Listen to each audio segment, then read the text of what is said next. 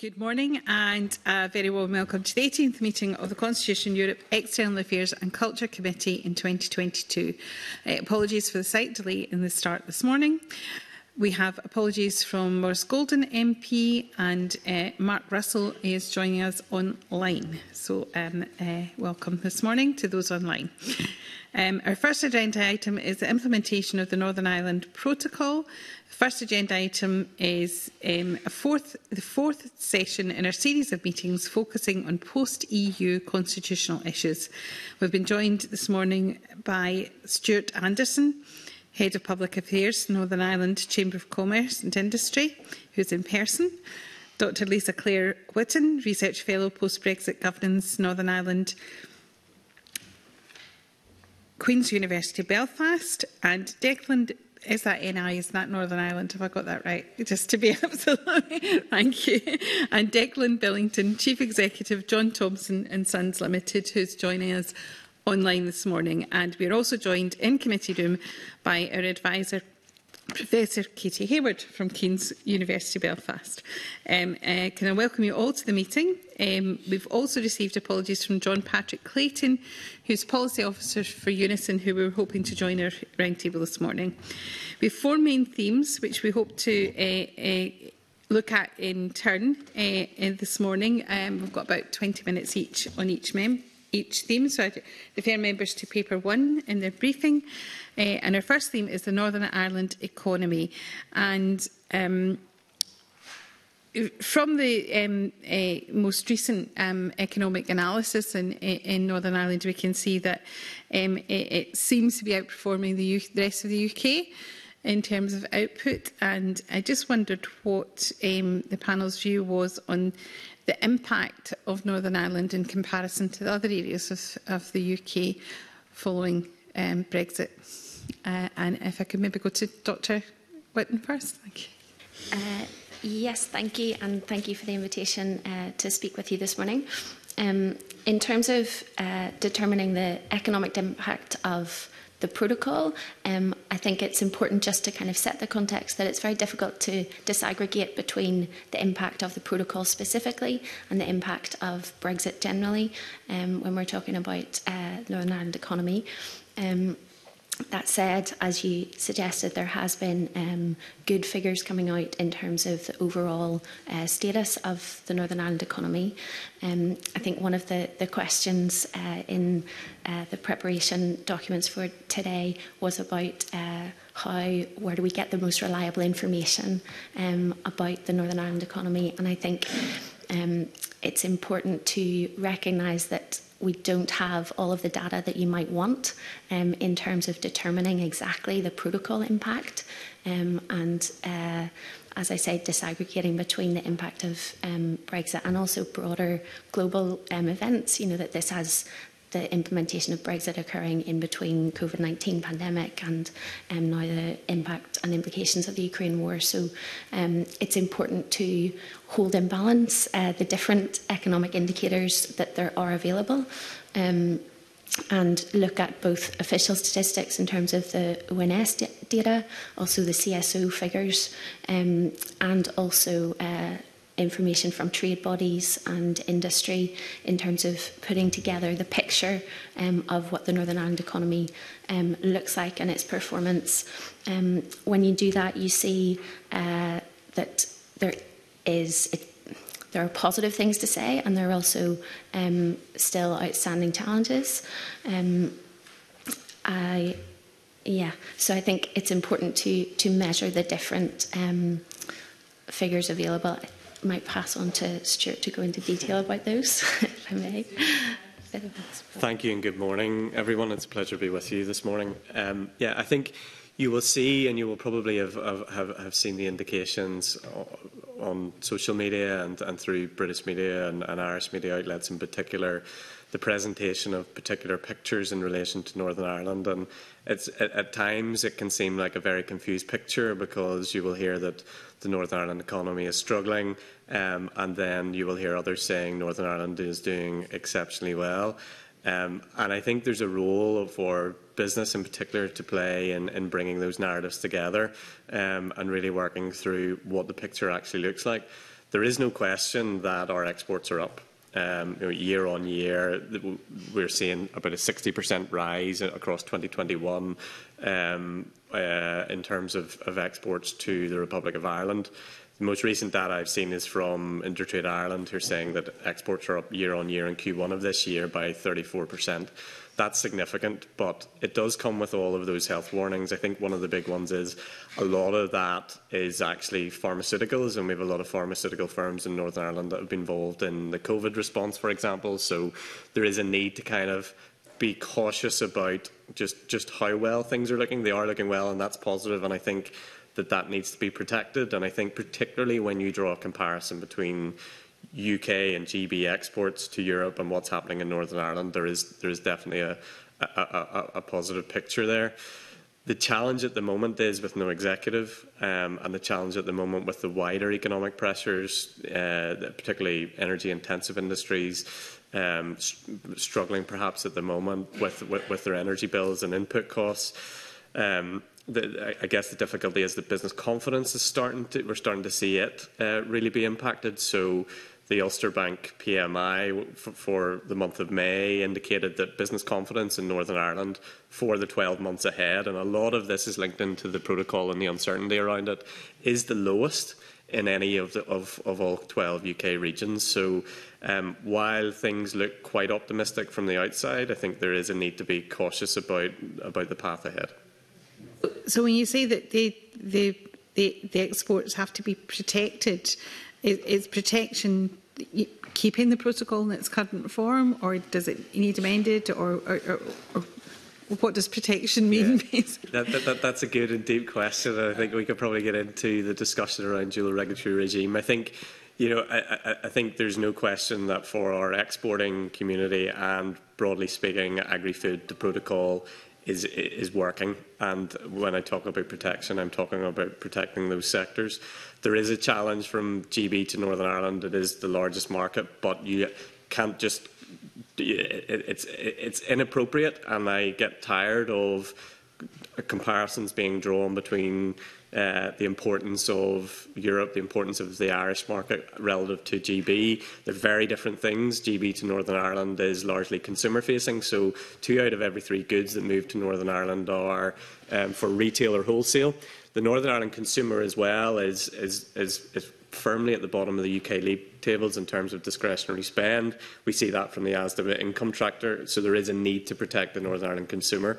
So uh, to answer your question, yes, we do need the protocol retained to protect agri-food in particular and, and, and the all-island piece, but there is an exam question that needs to be answered around how we protect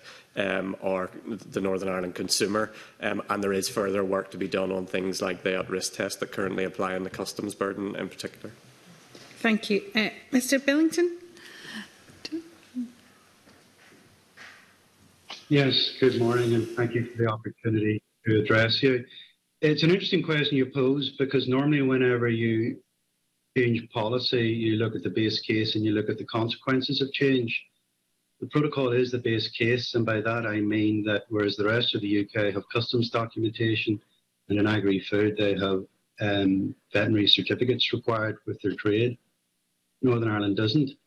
So the question about the impact of the protocol, the real question is what would the impact have been if there was no protocol? And it would be a lot worse than we are today. So benchmarking where we are today against the rest of the UK understates the value of the protocol in three out of the four trade flows, it's working very well. Uh, Northern Ireland to Europe, Europe to Northern Ireland, Northern Ireland to GB. The only issue is GB to NI, and as as Stuart said, that's a that's a consumer issue and probably a consumer price risk for the Northern Ireland consumer. But if you were to go back to the work that was done in No Deal as a proxy for what would look like in a protocol, and um, it was estimated that there are 24,000 micro businesses in Northern Ireland that just trade with their neighbours across the border. That's a business with two, three, four, five people. Those businesses, if they're trading in food, would now need export health certificates for the food they trade in, processed food. and um, they would also need the customs documentation. One could argue that today those requirements would be mild because the UK have not diverged on customs, tariffs, and standards versus the EU. But in the next five to 10 years, as the UK diverge on trade, on tariffs, and on standards, the burdens will get greater and greater. So the real question is without the protocol, how would that cross border and trade into Europe look? Today, businesses in Northern Ireland are trading freely with Europe in the agri food sector, three to four year contracts selling food with no paperwork and no customs. Will that trade remain the same way if suddenly there's customs declarations and, and export health certificates? So, so I don't think so. So I think the analysis is early because we need to disaggregate COVID from trade flows. But the base case is the current case, and it's a step back if you do anything that affects our ability to trade unfettered into Europe.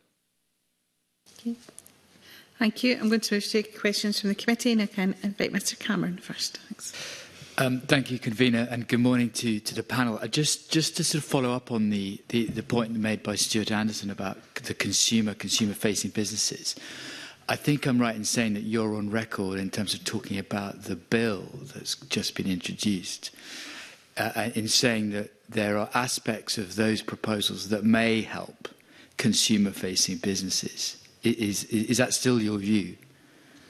Yeah, I mean, yeah, I guess, look, if you want to take the, the bill at face value um, and not consider the potential consequences, the relationship with Europe, if you just take the bill as read and, and assume that it is an, is an agreed mechanism, there is certainly um, there is certainly value in the uh, in, in the principles that are there in terms of I guess there's a question that needs to be answered at the heart of the consumer facing challenge and that is how do you manage divergence between the UK and the EU? There are various mechanisms to do that. You could have a veterinary agreement, or you could look at the question of do you facilitate divergence for goods for final sale to the consumer in Northern Ireland? So if it is such that your your your consumer facing supply chains in particular your reta your your retailers um, have such level of sophistication that they can move goods to Northern Ireland um, for final sale in, in, in, Northern Ireland, where there is, you know, um, in, in practical terms, little or no risk to the, to, to the single market, then there is value in exploring that as a potential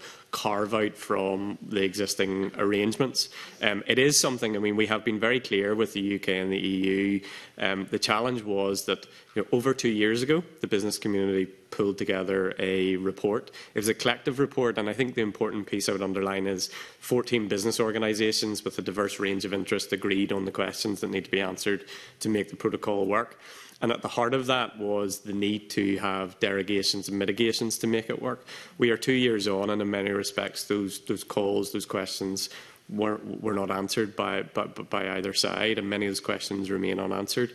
At the moment, I think it's fair to say that under the current standstill arrangements, and there is some discussion as what is the baseline, and at this moment in time, we are seeing goods relatively speaking, move freely in, into Northern Ireland. Our supermarkets are still serving Northern Irish customers. The question is, is, one, of, uh, is, is one of looking ahead if you remove the standstill arrangement and if you try to look to the question of divergence over time, where will that take us to? So I think on that red lane, green lane, there's the seeds of a good idea. The challenge, however, is while that may work for your firms that are moving their own goods, so the likes of the big UK retailers who are moving goods themselves, what's the commercial impact for the Northern Ireland business, um, the Northern Ireland customer?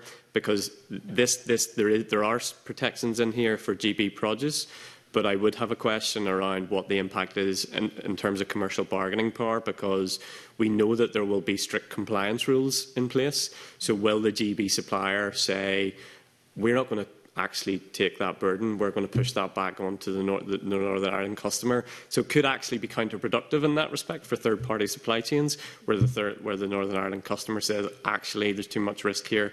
We will, we will, we will trade elsewhere. So these are all open questions. I'm not drawing any definitive conclusions. I think there's a lot in the bill still to be still to be answered. So um, I guess I'd like to frame my response in, in terms of questions rather than definitive conclusions.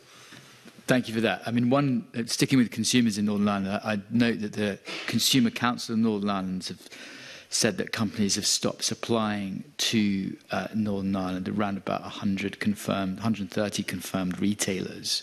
Um, I, I don't have any sense of whether that's a, a small number or a large number. do you have any so comments on, on that particular aspect of the effects? You know, I, I, I, don't in terms of the in, in terms of the scale. Um, I know that there are your your average supermarket stocks around 40 to 50,000 products, and because of the challenge of divergence, you know something like titanium dioxide being banned in the EU as an example, um, you, you, could, you could see maybe 30, 40, 50 products being removed from the shelves. So in terms of a proportion at this moment in time, that divergence isn't creating a significant isn't creating a significant challenge, um, but there are challenges there already, and, and perhaps those coming up on the horizon. Um, I, I'm not seeing that. I'm, you know, I take what the Consumer Council are saying at, at, at face value, um, and I am hearing. I mean, I would hear mostly from NI distributors who are bringing in goods actually to the island of Ireland as well. This is a problem for the island of Ireland where um, if goods have to be made to a different standard, economies of scale is dictating that actually it's not worth supplying Northern Ireland. And that was the issue with medicines as well. So you create a small market. Um, is it commercially viable to supply Northern Ireland or the island of Ireland? And that's the difficulty that they're trying to address. So um, anecdotally, we are seeing, and like the Consumer Council said, yes, there are, there, there are those suppliers who are stopping supplying Northern Ireland, but actually one of the challenges is is a lack of awareness. And I think one of the things the UK government didn't do was prepare GB businesses well at all to trade into Northern Ireland. Um, I think you saw guidance being published, and this is not a, a period of my life I want to repeat, but on the 31st of December last year, guidance was being published right up to the 11th hour about how to move goods into Northern Ireland the next day. And Um, that was really, really challenging and a really rocky period for Northern Ireland businesses. But you, know, you can see fr from our own data from the Northern Ireland Chamber, we do a quarterly survey. And in Q 2 of, of, of, of last year, we saw a 52% of businesses saying they were uncomfortable with it, they were getting on top of the protocol. That's not that's not a great statistic. That you know, almost one in two saying that it was a problem. In Q1 of this year, that increased to 65 and only 8% are saying that they're finding it extremely difficult. So I think we're still teasing out that question of uh, time and, and, and whether, we, whether supply chains can adjust to the protocol. So I don't think, with all the confusion, we're really clear as to, as to what the impact is going to be. Thank you. Lastly, can I, can I ask you... Oh, oh.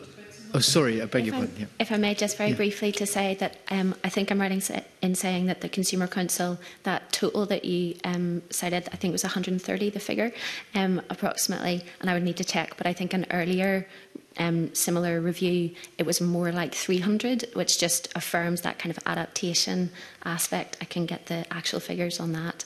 Um, but then it does kind of beg the, the next question around adaptation to any new arrangements if we do get intra um, UK divergence um, going forward. Thanks. finally, thank you, thank you for that. Finally, can I ask you all? I mean, you've been very clear about the effects on business in, in Northern Ireland, both to, you know today and in your submissions. Um, one particular focus for us is obviously Scottish businesses who are trading into Northern Ireland, as it were. Uh, and it, I'm sure you will all have contacts and relationships with Scottish businesses, uh, particularly perhaps in the southwest. I just wondered if you had any observations on the effect of the protocol on them and their trade in or out of Northern Ireland. Uh, perhaps I could start with uh, Mr. Billington, if that's all right. Sorry, Mr. Thompson. Sorry, Mr. Billington. Beg your pardon, I'm reading your name wrongly. No problem. Um, I, I think just add to the comments of my colleagues before Brexit, if you went on Amazon and tried to order goods for Northern Ireland that were freely available elsewhere in the UK, you didn't get them. So there's always been a reality that we're serviced less from UK from GB businesses than any other region. The protocol does put extra burdens on that trade. And one of the criticisms of the Business Brexit Working Group has been the UK government prepared GB businesses for trade with Europe, but did not educate them on their trade with Northern Ireland. So how much of the trade that's that has been lost by those 130 is down to the lack of knowledge as opposed to cost. In terms of trade Scotland to Northern Ireland, um, we were very afraid in a no deal that we would not be able to trade with agricultural products from Scotland. In particular, we buy a lot of barley in the agri food sector from Scotland. Um, having a, a, a trade deal, a TCA, solved that problem. And up to the 11th hour, I was looking at having to resell Scottish barley back to Scotland uh, because of tariffs. So the TCA was a very useful document that eased the burdens on trade between the UK and Europe and therefore the UK and Northern Ireland. Um, in terms of, of, there's bound to be a bit more difficulty in trading gb to ni I don't have any first-hand knowledge. What I do know is my trade in the agri-food sector remains unchanged. Scotland is still a very good origin for the agricultural products we have. I know for the farming base that they have issues with things like seed potatoes coming from Scotland because of the sanitary and phytosanitary rules. But there definitely is in these sectors a restriction to trade arising from sanitary and phytosanitary controls that didn't exist beforehand. Thank you. Um, Dr Whitten? If if I may, um, if you can forgive slightly dodging the question, uh, to say that uh, I think we generally um, in this conversation would benefit from more um, regionalised trade data um, as a result of uh, post Brexit realities to inform the debate. I say that because I wouldn't want to speak because I don't have necessary data to rely on in order to inform my answer. That's, that's fair enough. It's a slightly unfair question because it's really a question for Scottish businesses and their trade and land. But in terms of what you're hearing from the people that you represent or, or, or speak to, um, Mr Anderson, do you have any final Yeah, I, I, I would agree with that and thank yeah. Lisa for dodging the question. And uh, Yeah, but no, I, um, I, I, and just even what, what Declan has touched on, when I guess there are anecdotes and there are case studies that come to the fore, and without question, the one that we hear the most of is, is sea potatoes from, from Scotland for for the the agri-food sector, and that is a question that you know we, we, we would like to see solved. That is a question that I guess could be resolved through some form of SPS arrangement between the UK and Europe, but um, we don't see an indication of that being on the table at this particular time. So um, again, back to back to the red lane, green lane, um, there is the potential for Scotland to have you know, much much e, much better, much much uh, easier, smoother access to the NI market. Um, if if that was to come through to fruition and, and, and be agreed and be a stable um, framework for trading into Northern Ireland. Um, but that, but I guess the question is, it depends what type of good you're moving in, and, and we're still to work out the detail on what's meant by qualifying movements under the, under the protocol bill. Um, and the big question is around intermediate goods in particular. You know, how, if, good, if it's not known whether goods are destined for Northern Ireland or Europe at the point of entry, um, what lane do they go into? So um, there, there are, I guess, a few unknowns at this moment in Thank you very much. Thank you, Convener. Thank you. Uh, Ms Boyack. Thanks very much, Convener. Um, and thanks for the evidence we've had. Um, I want to follow up the issue. Uh, it's both in the written evidence and it also comes forward today quite powerfully in the answers you've given so far about um, the need for eh, information, being able to predict and plan ahead um, in terms of communications because it's clear in terms of agriculture food sector also noted the dairy sector about changes that are happening um, what is What is the solution to that in terms of the discussions? Because um, there was the Northern Irish Business Brexit Working Group. Um, what, what communication networks are there that are available? Because you don't have the Northern Ireland um, executive to talk to to push what needs to happen with the UK government or the EU. But what are the what are the political structures that you can actually lobby at the moment? That's one of the concerns we've got in terms of holding our government to account is just even that transparency. So how do you, who do you talk to? How do you make this work given it's a changing situation? Yeah, that's a good question. And I think the, the first, the first answer I give is just in terms of the actual operation of the protocol as it stands today. One of the challenges that we have is there's over 300 pieces of legislation that apply to Northern Ireland under the protocol um, which is a complex, it's Annex 2 to the protocol, very complex, very challenging. Um, and one of the questions that we've put to government is around, well, you know, how are you making this accessible to business? So, for example, who is the competent authority within the UK for managing the administration of that particular piece of, of legislation?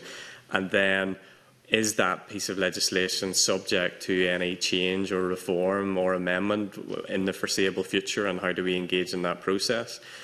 We don't have that access, so businesses are, and, and I, I, know Declan will have some examples of this, but you know, in, in many cases we're relying on discussions having to go directly to UK officials within departments, but also relying on the Republic of Ireland and, and their departments and officials with it. So it's not, it's not an ideal situation in terms of the existing uh, implementation of the protocol.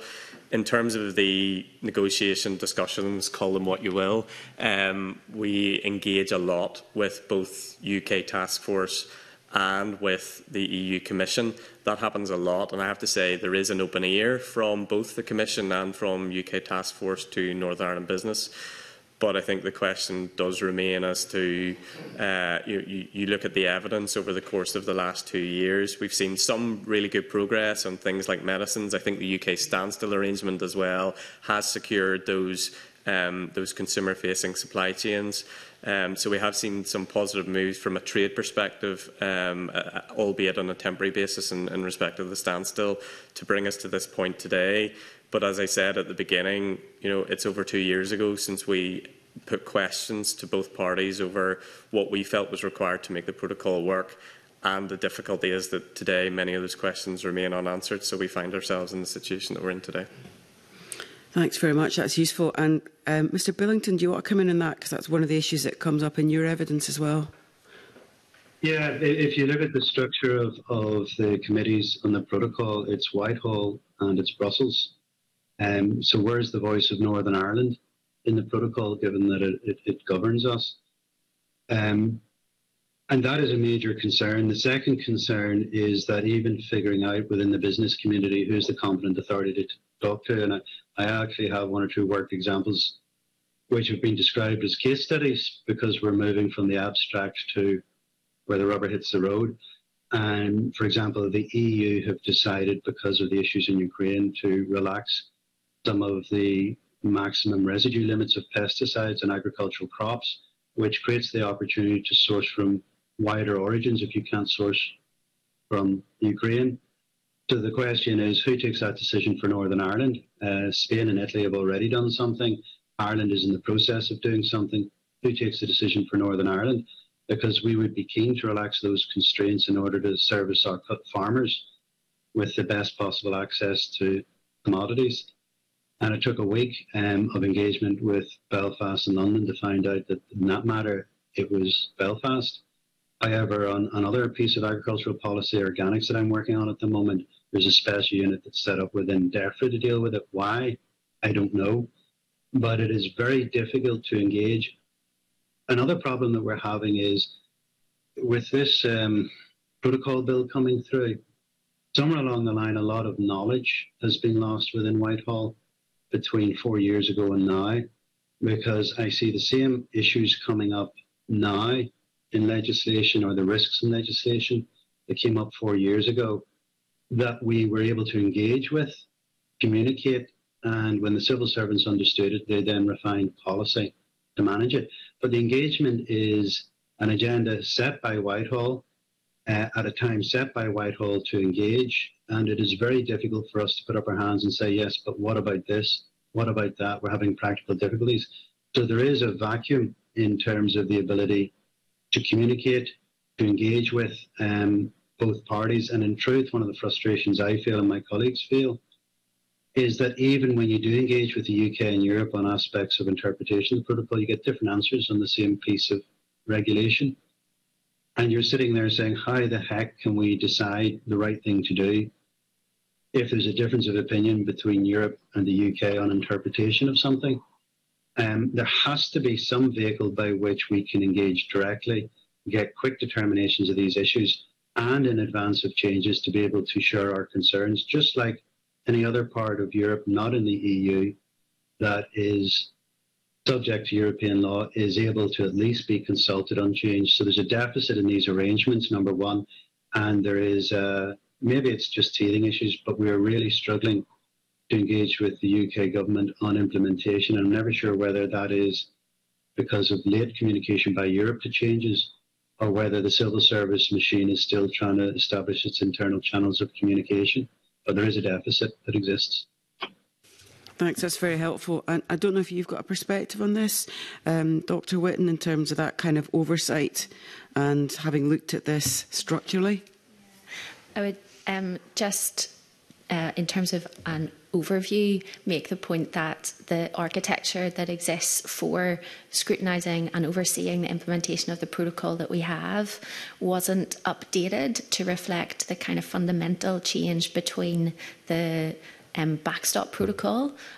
arrangement, which was meant to be temporary and not to be used or to be used in conjunction with a deep and special relationship kind of agreement, which is not what the TCA offers.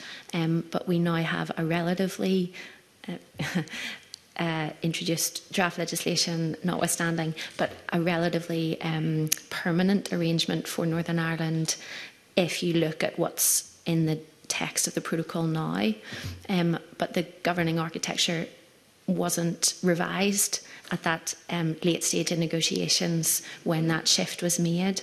Um, in terms of what is how it's operating, um, we do see that the, the Joint Consultative Working Group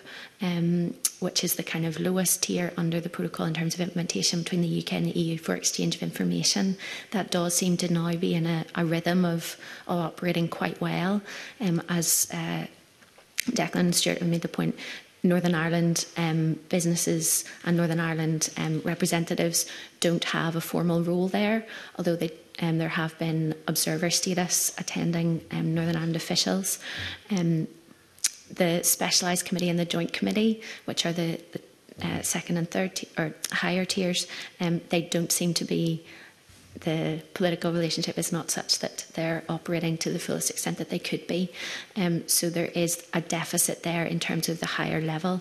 Um, also, just on the, the kind of practical the communication of practical challenges in terms of the operation. I spend a lot of time, um, have spent a lot of time, possibly too much time, looking at um, what dynamic alignment under the protocol substantively looks like and tracing through changes that are relevant in EU law down to UK law and how that flows through. Um, and in doing that, I mean, you can identify where there are changes happening, for example, on um, maximum residue levels for plant protection products and how that has filtered down to a statutory instrument for GB retained EU law, and um, what that shift means. I, you can read that. Um, it takes a lot of time, but in terms of knowing, I can't tell you what that means for agri-food um, industry in Northern Ireland because you need because these, the nature of the subjects and the substance tends to be very technical and get very technical very quickly, you need stakeholders in the room to tell you does that matter or does that not matter, and how and why. And that's why I think it's it's important. And one of the positive aspects of UKE talks before they um, broke down was that there was uh, consideration of how to integrate Northern Ireland voices into the process of implementing the protocol. That's very clearly necessary. That's very helpful, thanks. I think that's one of the big issues that we need to kind of record and think about going forward. Thanks, all of you. Thank you. Um, Dr Allen? Thank you very much, convener. Thank you. Um, very interesting to, to hear from the panel uh, today, to get a, a, particularly to get the voice or the opinions from business. I was just keen to get a bit more of that um, that voice because although we're, we're accustomed to hearing in Scotland about what political opinion in Northern Ireland might be about the protocol. Hmm. We're, we're less um, accustomed to actually hearing um, businesses' views. So I just wonder what it feels like from the point of view of business to have access from two markets. This is something that we look on, notwithstanding all the problems you've described, with some envy in Scotland. So is this something that business value and is it something they would uh, have a view about if uh, it was ever to be taken away? do you want me to take that in the first instance? Yeah, no problem. Um, yeah, I mean, I think as, as Declan said, you know, it has to be seen as, as, as the baseline where particularly Good Friday Agreement and uh, working through in terms of our agri-food sector and the level of integration you're seeing in some of the key agri-food subsectors. I mean, the, the reality is is that they just could not survive without, or they, they would certainly be in an awful lot of difficulty and, and environmentally that would pose significant challenges if that access was to be removed. It would certainly be, be existential. What we're finding is a lot of our exporters are doing very well. I mean, I've had discussions with a number of our banks in, in, in recent weeks who said, look, a lot of our exporters are actually building up deposits, they're actually withholding investment because of the, the, the uncertainty that's kind of looming ahead and actually the uncertainty in the macroeconomic picture that's looming ahead. But the difficulty is, is that they, they don't necessarily want to raise their head above the parapet. And that's also the same for those who are uh, struggling with aspects of the protocol as well, because invariably that gets politicised for the gain of one side or the other. And I guess what the role of the business community is, is to actually just look at the evidence as best we can and try and bring, bring both of those competing narratives together. Um, and I guess look, I, fr from a business perspective, things are, are going relatively well. I think there is a, some degree of caution with that. As I mentioned, the Ulster Bank PMI um, is, a, is of some concern whenever Northern Ireland is at the bottom of the league table in terms of business confidence, looking to the, the 12 months ahead. There is also the challenge of having to reassure your European customer base as well um, that you know, the, the publication of the bill is not the change of a law and it's very much business as usual. Um, so there's that challenge as well. Um, and actually, uh, in, in, in terms of access to the single market, there are, there are still challenges with that. So Northern Irish firms, for example, do not have access to um, EU free trade agreements and when you're dealing with all island supply chains, um, that has posed some difficulty as well. Um, in terms of unfettered access to GB, um, certainly from our own Northern Ireland Chamber survey, on balance we're seeing more firms are actually um, supplying more. More firms are, are, are, are serving the UK um, customer base than, than those that are not since the protocol has taken effect. Um, so you know the, the dual market access is working, and I think that's that as distinct from dual regulation, which causes some concern for Indigenous Northern Irish firms. And uh, Mr. Billington? Yeah, um, I'd probably break it into two or three levels. The first is Northern Ireland trade with Ireland, which is part of the EU, and Northern Ireland trade with Europe. And the reason I break it down is is that um, the business model that evolved for agri-food in Northern Ar- in, uh, on the island of Ireland is businesses are competing in scale processes. The only way to deliver low-cost trade with GB into the supermarkets. So a third of the milk from Northern Ireland is processed in Southern Dairy uh, dairy creameries because they have the scale of investment there, um, and they draw from their catchment area, and that catchment area crosses a border. So if we lose, if, if there is a border, uh, an SPS border, for example, we lose access processing facilities. That is a unique problem to Northern Ireland versus any other part of the UK. It's a bit like a Scottish dairy farmer selling milk to an English creamery. How would he feel if he couldn't do that anymore? And um, that's the problem we face if we don't have dual access, uh, access to both markets. On the pig sector, a third of the pigs needed to keep the minimum throughput viable for one of our Northern Ireland factories comes from the south. Where you have an island at land, uh, goods move freely and easily. Where you have sea, it's a barrier. So we would have major challenges if we lose access to the European single market or trade with it on the same terms as any other part of the UK because we don't have access to the processing facilities and we don't have alternatives to those processing facilities. On the second issue of trade into Europe, um, it's unfettered. We don't have the paperwork and we don't have the SPS requirements for the rest of the UK, which actually makes us attractive.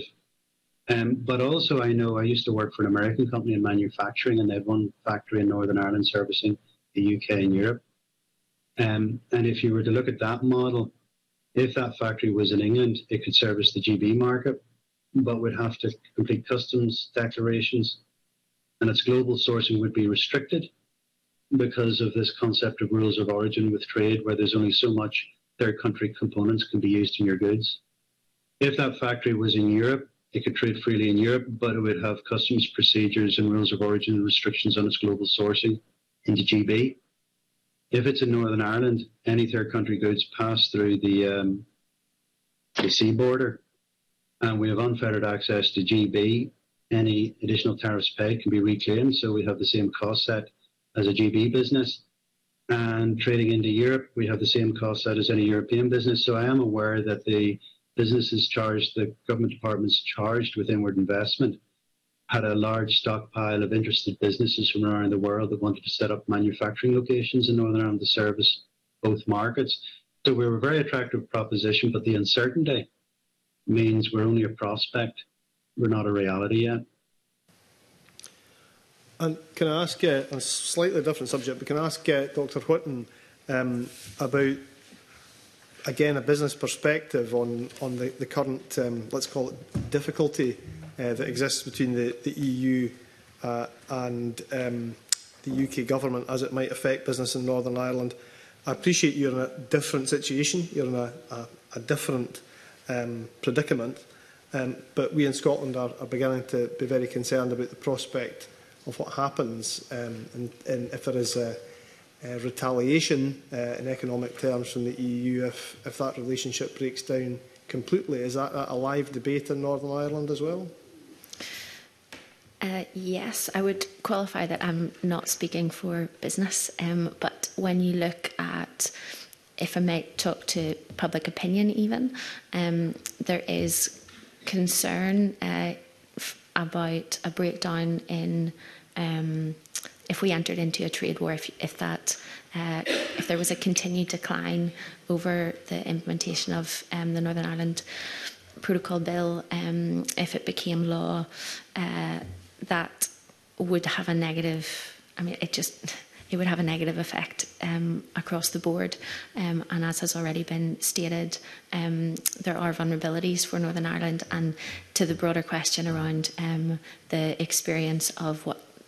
the current arrangement is um, we do see uh, a lot of discussion and um, a sense of majority understanding that there is potential here for Northern Ireland to really benefit, but that's contingent on implementation and legal certainty. Um, in polling that uh, we run in the project I'm involved in in Queens together with colleagues Katie Hayward and the Finmore, we see um, really high level of support for an agreed outcome between the UK and the EU from the Northern Ireland public. Um, and a sense that the unilateral uh, majority do not think that UK unilateral action is justified. Um, and that in itself, I mean, that it's, it's difficult to allow that data to sit that kind of broad picture of opinion in Northern Ireland, as well as together with the business experience of um, what's going on now with the the trajectory that the UK government is on and the trajectory that UK EU relations are on, which could ultimately, if we continue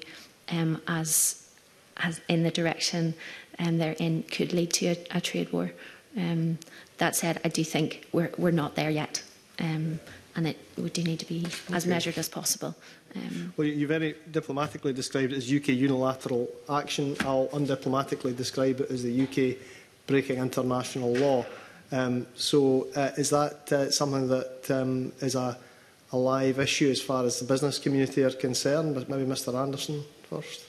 Yeah, I mean, and again, there is there there is a degree of caution from the business community getting involved in in in, in, in providing a live commentary on that particular aspect. I think UK government says that its position is legal The EU says it is not.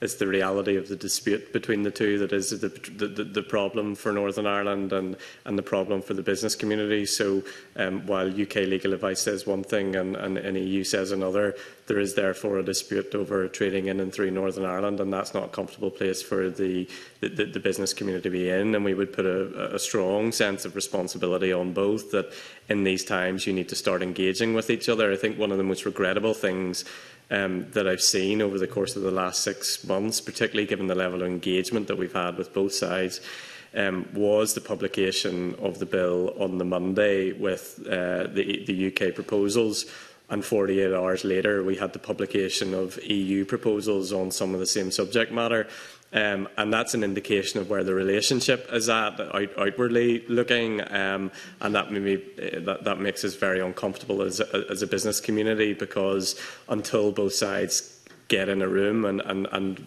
stop talking past each other, this is going to continue for some time. And one of the issues that we actually have is that the there isn't yet agreement on what the issues are to be solved, even at a technical level. And one of the leading asks that we have, and one that we've been laying down for some time, is in a, in a non-political environment, can the UK technical team, the EU technical team, and experts from business get into a room at the one time to bring integrity to the conversation and actually work out almost like a due diligence exercise, work out where the particular red flags are or where the particular things are operating well, and at a joint committee level agree on what, on what that looks like. And that is unfortunately receiving some resistance, but that is ideally step one, and from there we can decide where we need to move from. And finally, um, Mr. Um, What's going on that point, Mr. Dr. Allen? Yeah. Declan, yeah, please. Um, Yeah, that's fine. Um, I read the briefing note in advance of this meeting, and the first paragraph is, is a very important paragraph in the briefing note. The purpose of the protocol was to protect the Belfast Good Friday Agreement, and we hear that again and again in Parliament. It was also to avoid a hard border, and it was also to protect the integrity of the EU single market. Okay, the border in Northern Ireland is an inconvenient truth like global warming. If you choose to deny there's a problem, you don't need to put policies in place mitigate it. And time and again in our engagement over the last four years, we have heard from MPs in London saying, What's the problem? And the problem like global warming is not a problem for today, it's a problem for five or 10 years' time as, as changes continue to happen. And um, so, in that light, you've got to remember that the protocol was a prerequisite for the TCA. Once there was an arrangement in place that made Europe feel it didn't have to put in a border protect the single market, it moved forward with the TCA. If the UK disassemble that element of the protocol that gave the assurance that Europe wouldn't have to impose customs and SPS procedures in its trade with Northern Ireland, then you'd have to ask yourself if they dug their heels in to require that prerequisite and we unpick the prerequisite, how will they respond in the TCA? And that, to me, leads to an inevitable outcome that maybe maybe there isn't a border now, but eventually with the divergences that will happen, there will be significant challenges, and Europe will have to respond unless they dig their heels in now and go back to the justification for the protocol, which was we don't have a TCA without a protocol. So I do think if it's if the UK there's some merit in what the UK are doing, it's about scope and risk, cause and con- actions and consequences. So by design, the UK have to deliver an outcome that doesn't threaten the single market, which is the commitment of the protocol, um, and if they don't pay attention to that, then in my mind, Europe will actually have to respond. Otherwise, eventually, its only option is to implement customs and SPS controls on goods from Northern Ireland. Thank you, Convener. Thank you. Ms Minto. Thank you, panel, and thank you for the papers you sent us. Um, Mr Anderson, um, the point that you made um, to response to Dr Allen's question about the way that you, could, you think things should move forward, um, I was wondering, you've twice um, referenced the 12 um, suggestions that you have made. Um, and you went on to expand a bit more about how you could bring um, some pragmatic, perhaps, solutions to issues. I'd be interested to hear a bit more about how you think businesses could be involved more in the process.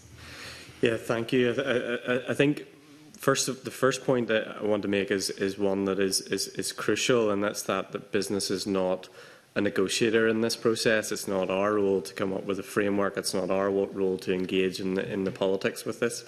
What it is, our role is is simply to test the framework and to give uh, clear evidence as to business sentiment and also whether the commercial viability of, of whether the arrangements work. Um, so I think from a fr from a starting point, we, as I said, we went back two years ago um, when the discussion was quite live. We we were faced with a real challenge, and and uh, we met with the EU Commission, and this was this was reported on. And I'm not I'm not disclosing anything that, that's not known. With it was reported on by Tony Connolly in, in the February of 2020, where we were looking for, I guess, some degree of pragmatism around application um, and, and some degree of derogation and mitigation in order to make the protocol um, operate well. Um, and at that particular time, um, the EU was clear: no, this has been agreed. This is this is this is uh, this is as it is, and will need to be implemented. And on the other side, you had the UK, who at that particular time were almost, it felt like, in denial about the reality of what they, they, they, had been signed up to. And even right until the point at which the protocol took effect, it was very much downplaying the, the, the, the protocol, despite the fact that business was saying, particularly for key issues like food and medicines, key, key products that were moving across that GB to NI channel. Um, and now we find ourselves in, in the situation that we're in. I think we, business is not uh, in the in the mind of looking back and, and, and, pointing fingers. We are very much in the we need to be constructive and we need to and we need to look ahead. So as I said, the first step that we believe needs to take place is an agreement around um, what the problems actually are, and that's what the role that business can play. So um, it, we, we find it very challenging when you engage with both sides on the same subject matter, and they both draw conclusions that uh, are, are surprising to us because uh, they're often uh, in conflict or not perhaps the full picture of what was disclosed. So I think that tripartite discussion I think is, is, is essential for bringing uh, some integrity to the conversation, and, and it is that starting point where from where I think um, we need to move there has been some excellent work done by the likes of Professor Katie Hayward and, and, and, and David Finnemore and the team and, and Lisa just around what actually if we get to a point where we get an agreement um, what the role of business and other stakeholders I think I think it's important to not just to recognize this as, as, as a business issue other Northern Ireland stakeholders are involved in that process from a representative capacity so there is that but we're, we're not in that phase yet and, and again our calls are um, one of one of engagement. And I think you know, we, we want to see that happen as a first step. It, it is hugely frustrating when you hear the UK government say our preferred outcome is a negotiated settlement. The EU say where our door is open any time. And when we both say to them, okay, well, where is the process? And we're still not getting a clear answer on that. And like, we're, we're open and willing to play our part in that process. Thank you. May, just to pick up um, on the other stakeholders' involvement, if we're talking about kind of involving Northern Ireland voices and um, the sustainability of implementation, it's important to recognise, although um, conversations about the protocol tend to focus on trade um, because that has been the most prominent. It isn't just about trade. There is quite a, there's a significant rights element to it. There's also things that um, such as the operation of the single electricity market that is lesser discussed. Um, but if you look at both the, the approach of the UK government at the minute, it's putting all of the protocol on the table um, when aspects of the protocol aren't um, in the assessment of anyone really about the problem. Um, and I entirely agree about the, the different um, definitions of the problem and how difficult that is for reaching any kind of solution. Um, but if we're talking about involving um, businesses and also involving other stakeholders, it's just important to widen that out and recognise that this protocol isn't just about trade across um, GBNI, but it's broader than that. And it's very difficult to de-link um, those issues. So, for example, on north south cooperation, that is one of the protected aspects in the draft bill. Um, north south cooperation is very broad in scope, but just to um, make the point, so the cross border delivery of healthcare is quite significant in certain areas. Um, healthcare provision happens and relies on the ability for medical devices and medicines to travel freely across the island of Ireland, but that's sitting under the customs and trade elements and the regulatory alignment element of the protocol. So even when you start to separate out those issues, um, it gets you get tensions within it, which is why I think um, the conversation needs to be broader than just where it's at at the minute. Um, you so, Um, uh, that, that's, that's really helpful because um, I suppose you, you think about it as as everything's trying to be treated consistently, whereas some areas actually perhaps are are working well, um, and um, but by removing that change could throw up other issues that perhaps the, I suppose it's the unintended consequences of of this. Okay, um, Mr. Billington, have you got anything to add? Yeah, I suppose that uh, business, first of all, does not have a vote on the protocol. Only, only society had a vote on the protocol. Second, business is not involved in the negotiations. Um, we, we try to provide input to it. We try to define problems to be solved. Um, and therefore, our focus is always on trying to make whatever the framework we're given work. Um, and from that point of view, there's a feeling at the moment that, that the two parties to the negotiation are standing on principles rather than trying to deliver outcomes. And by that I mean the UK Command paper is a position paper that is basically we should be no different in Northern Ireland than the rest of the UK. But as I said, actions have consequences, and you can't ignore the consequence on the border area of goods at a different price and a different standard circulating. There will be a consequence to that. And I think the desire for the business community is is set aside the uh, the rhetoric and concentrate on solving the problems. You know, so you think about goods at risk, goods not at risk. Goods not at risk would be defined as goods that pass through an express lane in the European definition. They'd be goods that pass through the green lane in the UK definition.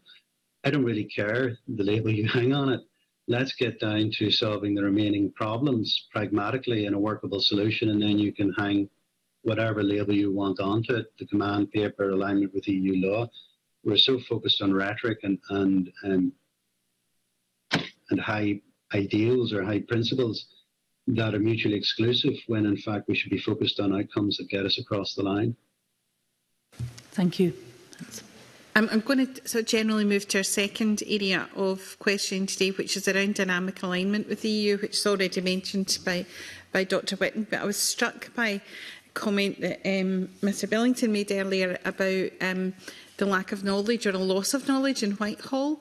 Uh, and we know that there are um, plans to reduce um, the number of civil servants in Whitehall quite quite significantly. So one of the things we're struggling with uh, from a Scottish context is um, with Scottish Government commitment to keep pace.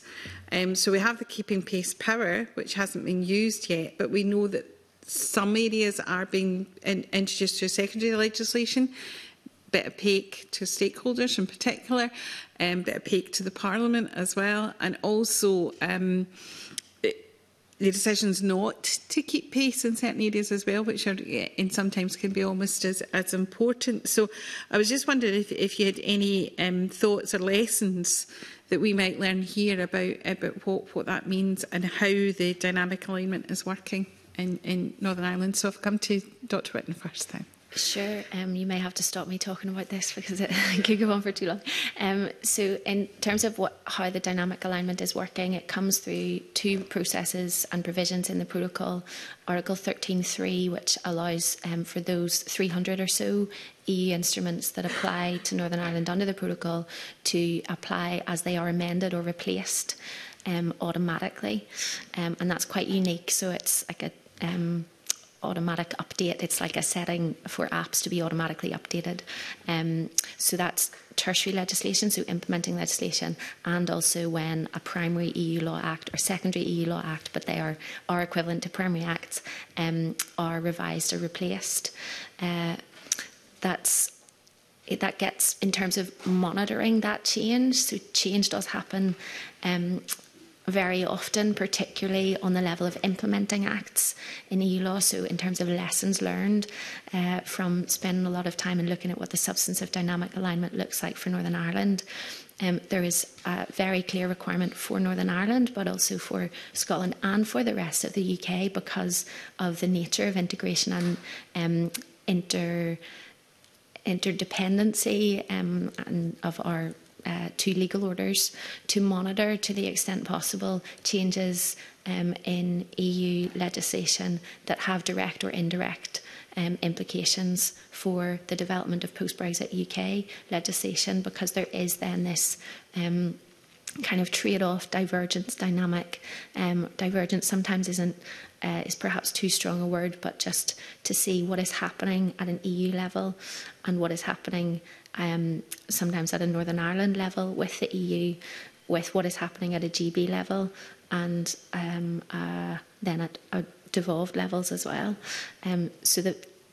the one lesson I would say is monitoring um, is is crucial, uh, and setting up systems for that.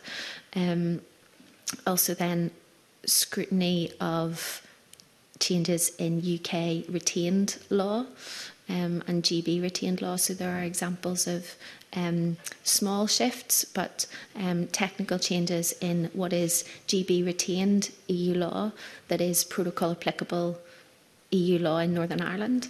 Um, and when you read, if you have all of the time in the world, explanatory memoranda around that in terms of the statutory instruments that are produced by the UK government, um, there isn't always an acknowledgement um, of the potential implications for Northern Ireland. Again, this speaks back to the importance of having uh, a process for communication to stakeholders and good connection between Whitehall departments and, um, in this case, Northern Ireland departments in terms of the actual implications of any of those technical changes. Because although they are niche, they can be important for some um, for some stakeholders in the industry. Uh, so, scrutiny processes um, monitoring processes. Um, those are the two main lessons, and perhaps recognizing just the um, the kind of divergence dynamic, the potential trade-off between alignment with EU legislation and EU legislative developments and the implications of that for um, Scotland's place in the UK internal market and the operation of the UK internal market the one example I would flag um, that we've seen so far, and a lot of this, um, especially when you look at the substance of Northern Ireland alignment so far, um, I think it's important to say that only in the first year of alignment, changes that were made at um, primary law level in the EU, so acts that apply under the protocol, only three of those were agreed after the UK actually left because of just the slow pace of change um, coming forward. So they were all agreed beforehand, which is just to say that the divergence potential hasn't yet really been realised, um, but that that's that's the kind of potential diverging paths that um, that we're on. And then Scotland, under the continuity commitment, um, is kind of opting in to that same or similar or potentially opting in um, to the same kind of divergence trajectory. The example I would flag from a Scottish perspective um, that I think is quite interesting is the single-use plastics um, provision because that is you know a decision to align with a ban at EU level that is under or at least partially under the Northern Ireland Protocol um, but has had to get or has come through an exclusion provision in Section 10 of um, the UK Internal Market Act under a Common Framework Agreement. And I think that process um, is is potentially um, would be a fruitful one if Scotland is planning to to align with EU law provisions in order to avoid um, undercutting. If you have no alignment at a across the rest of GB, and you have some alignment in Northern Ireland under the protocol. Um, that the common frameworks process, I think, is interesting, but it's part of it's also recognizing that all of this is happening in a very fluid environment, um, legislative, legislatively in the UK, and you have the EU developing, um, looking forward in quite uh, significant ways um, in relevant areas. as I say, I can talk for too long on that, so I'll stop there. yeah, okay. Um, I just wonder if Mr. Billington's got any comment on the how how the uh, dynamic alignment's working or not. yeah, I think there's two levels: immediate and over the distance. And I also need to look at the perspective if I was in Scotland rather than in Northern Ireland. So. Starting off, um, there was a backlog of EU amendments to the, the 300 odd regulations and subsidiary legislation that's the protocol. That took some time, I think, for the UK government to work through and communicate. It is beyond the capacity of business to track this, so we're heavily dependent on the UK government figuring out what is and isn't relevant and how they interpret it. But I have had some difficulties in how they interpret the laws that are being passed to us. So it's hard to keep pace with it, especially for a population of 1.8 million people. Um, and then there's an issue of interpretation. And I have and strong views on how I think UK government has interpreted things incorrectly. And there are other areas where I just don't know if they've interpreted it correctly.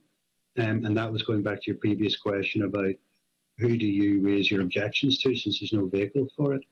So I think the challenge is there, but there's another more important thing, and I think that is we talked about red lane, green lane. So um, if you were to take uh, something like um, pesticides, for example, that I measured mentioned earlier in the UK diverge on pesticide residues.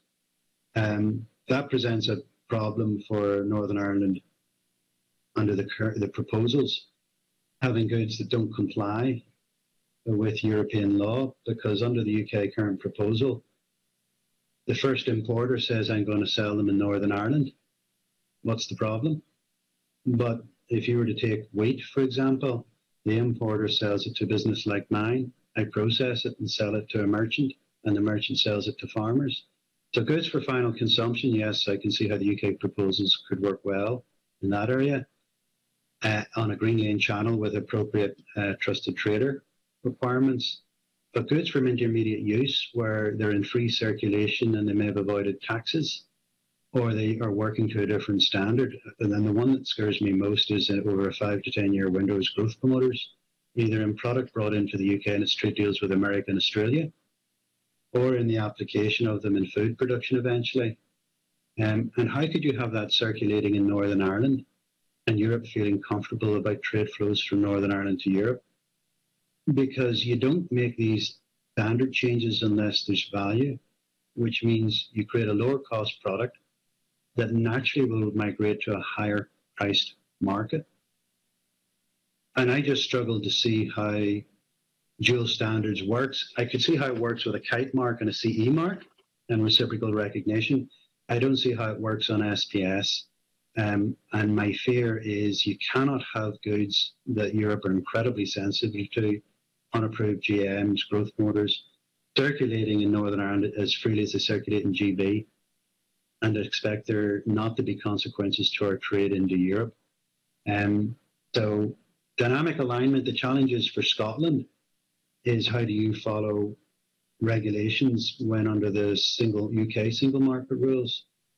You can impose a requirement on your own businesses that reduce their competitive ability, ability to trade in Scotland or the rest of the UK and you can't deny the products from the rest of the UK into your market under the UK single market rules.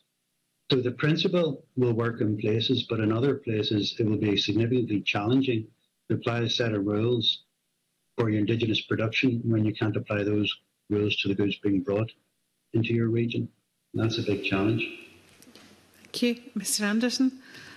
Yeah, I, th I think it's been quite comprehensively covered, but I would just I would just emphasise the point on capacity and resource, and particularly the the role of business in trying to interpret and navigate its way through dynamic alignment has been challenging to date, and it will continue to be. Um, so I think there is a there is a, a an obligation on UKG to work harder to be able to support business in in in, in tracking that in particular, and I think.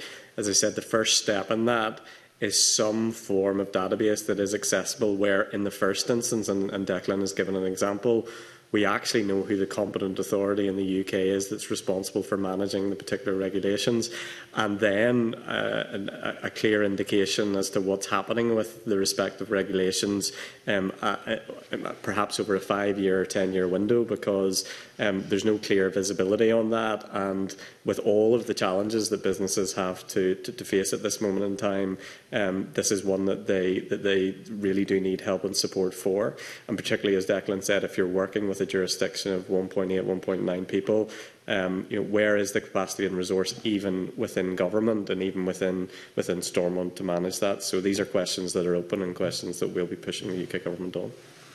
Okay. Um, can I bring in Mr Ruskell, please? Yeah, thanks, Convener. Um, just on that, I'm just wondering, from your perspective as business, how important it is that Stormont gets up and running again. I mean, if you take an issue like gene editing, possible that there could be a distinctive position on gene editing in the European Union. There could be a separate position at UK level. There could be potentially other positions with devolved administrations around the UK. What, what, when you're thinking about these issues, what, what, where do you sort of place the work of Storm and the committees?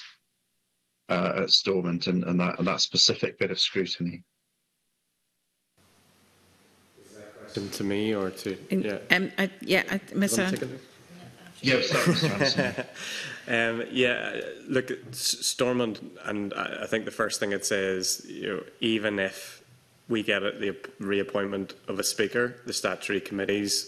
will not be reappointed. It'll be up to the discretion of, of, of the whips, I understand, um, to, to, to decide whether they, they would appoint ad hoc committees in the absence of um, there being an executive. Um, there is a, there is a significant challenge at the moment actually uh, at a political level, we had three years of, of, of no government in Northern Ireland, um, and we're facing that period again um, of actually upskilling our elected representatives in respect of the obligations that they have, um, and, and this being and, and, and the I guess the administration um, of the application of dynamic alignment is one of those issues that, that, that really does require um, some, for, some further work. Um, I have to say engagement with, with professionals within DERA and, and Declan can speak to this more than I can is is good. It is strong, the, and, and the officials within the Northern Ireland Department do work hard to try and understand the issues. But again, there are capacity and resource issues there, and particularly with with their officials being required to um, effectively man the checks and controls at this moment in time. Um, if those checks and controls were to be implemented in full, you're going to have another significant problem for for Northern Ireland uh, at, at an administrative level to manage that. Yeah, I would uh, just echo that and emphasise the um, capacity challenge presented to Northern Ireland institutions and and um, the political conversation in Northern Ireland just because of the nature of the differentiated arrangement that Northern Ireland has in post-Brexit context. Um, so there is a, um,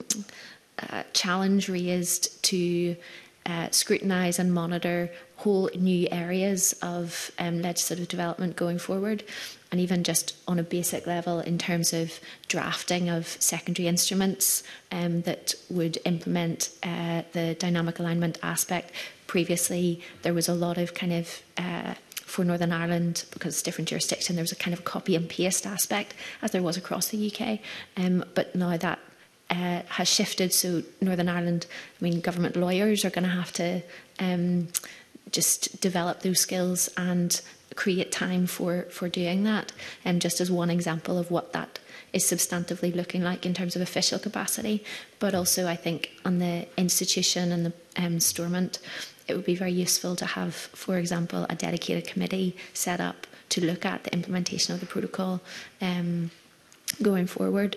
But we're, we're very far from having that kind of conversation and setting up that kind of infrastructure. But I think when you look at the nature of um, the changes that have been made, uh, that's very reasonable. Um, yeah. Mr. Billington, do you want to come in?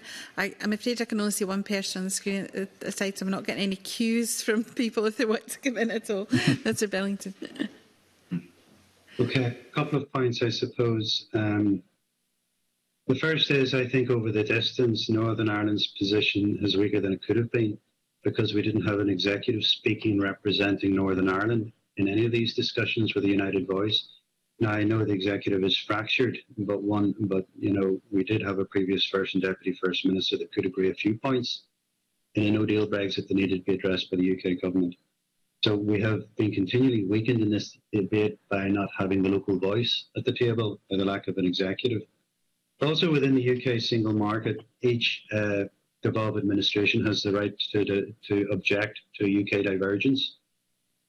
Um, but without the executive in place, I wonder whether Northern Ireland has the ability to object to UK divergence, um, along with the other devolved ministers, um, and the challenge on impact assessments as well as risk assessments to justify these divergences. So um, yes, in answer to the question, you, Europe goes one way in gene editing, parts of the UK go another way. In Northern Ireland, we wouldn't be able to accept the gene editing under the current situation. Um, but we would be arguing that the, the damage to Northern Ireland on that basis is such that it should be reflected on before the UK diverges. Um, and then other developed regions who would be keen to avoid such procedures could also raise their objections. Um, so there are mechanisms. I'm not just so sure those mechanisms will deliver significant outcomes, but we don't even exercise those mechanisms in Northern Ireland because we don't have a functioning executive to exercise those those objection mechanisms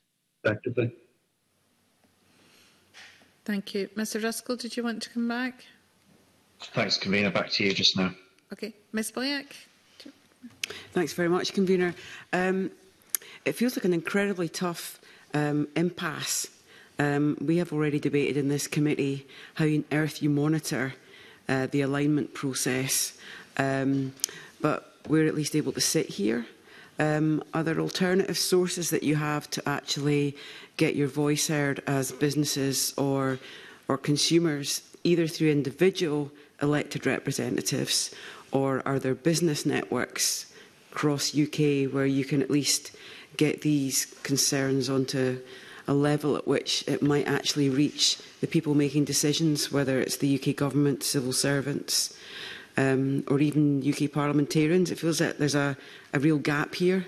I think it's difficult for we get the get the politics are very difficult, but it feels if we weren't even able to be here, how our businesses would be able to begin to actually get their voices heard, or never mind consumer groups, environmental groups. Are there ways that you can at least get your issues raised or be seen?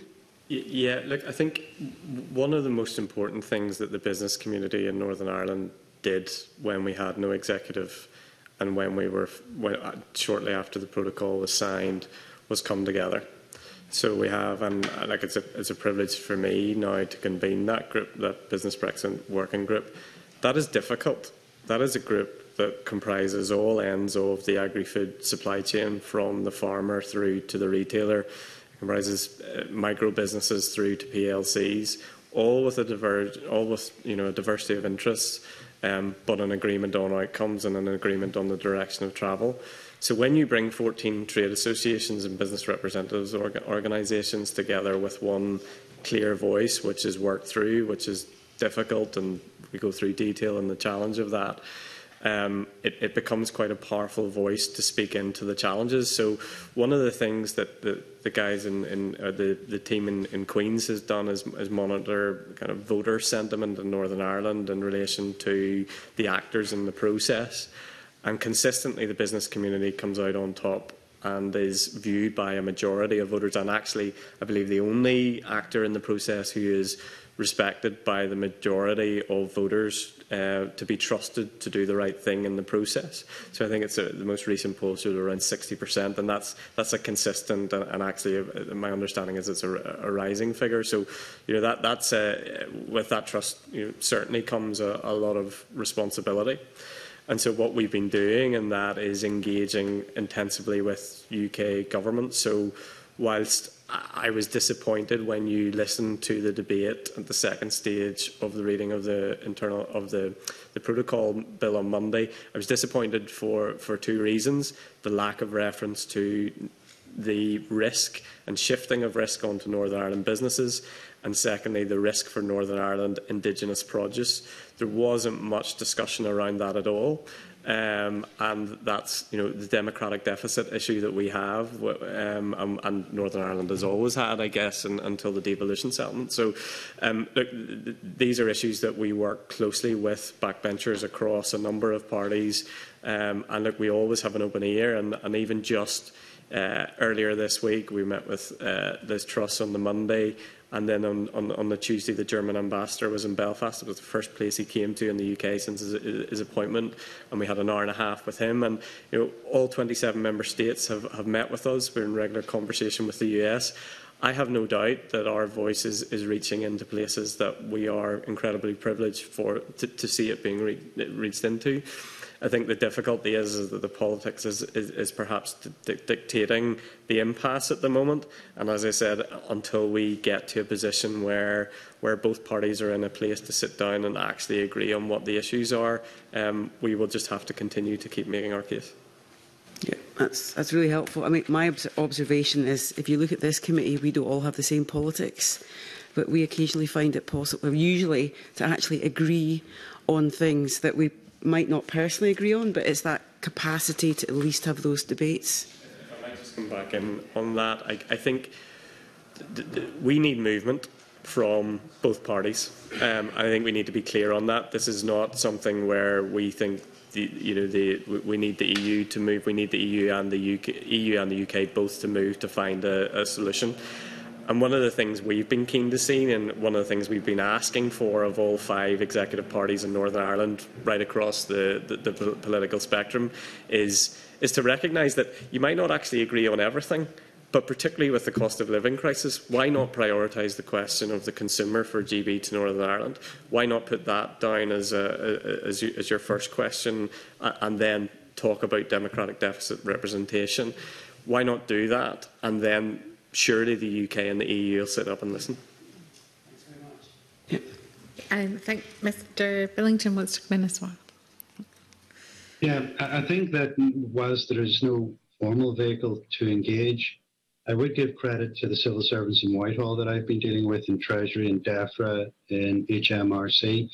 My regret is they're not the same ones I was dealing with four years ago on this, so we're going through the learning curve again. But in terms of delivering underpinning policy, they are very keen to understand and have the problem defined that those policy options need to manage. So I found genuine and sincere engagement as they try and understand the problem throughout the policy solutions. The problem always goes up to then the Secretary of State and the ministers. And if they don't accept the inconvenient truth of their commitments around protecting the single market and avoiding a hard border, if they don't accept their actions have consequences, then how successful will the policy options designed to deal with those issues be when they're presented to ministers? So, credit where credit is due. The Whitehall has engaged constructively and continue to engage with us and listen. Um, and I look forward to further engagement. But it is as but when it gets to the, the floor in Parliament, a lot of the issues and concerns we raise don't seem to make it to debate. So our, our last two topics were around potential solutions and the you know, just a general opinion on the, the protocol been introduced um, uh, uh, and as it stands, Isabel. And we've touched on some of that already. So um, if we could just, you know, um, uh, in our last um, few minutes together, can um, you give us an indication of how far apart you think? Because obviously we have the EU sitting with its proposals that have been published now, and we have the protocol bill as it stands going through Parliament at the moment. How far apart are some of the potential solutions and uh, how, how um, has there been an analysis of the EU proposals in terms of um, some of these issues as well? I'll maybe come to uh, eh, Dr Whitten first. Sure, I'll um, probably speak generally and then pass on to the others to go to the details. But uh, I think when you look at the two proposals, it's perhaps helpful to separate the, the practical and the political aspects and issues. Um, so on the, the practical um, movement of goods and the, as already discussed, kind of changing definition of risk, um, strengthening a trusted trader scheme, um, there is uh, clear um, areas of agreement or potential agreement that could be reached um, on those matters. The dual regulatory regime proposal um, from the UK government side does seem to be much more problematic. There's a lot of unanswered questions and it, there's not a lot of detail um, in the policy paper that they've put forward, um, which allows those questions to remain um, about what that would substantively look like.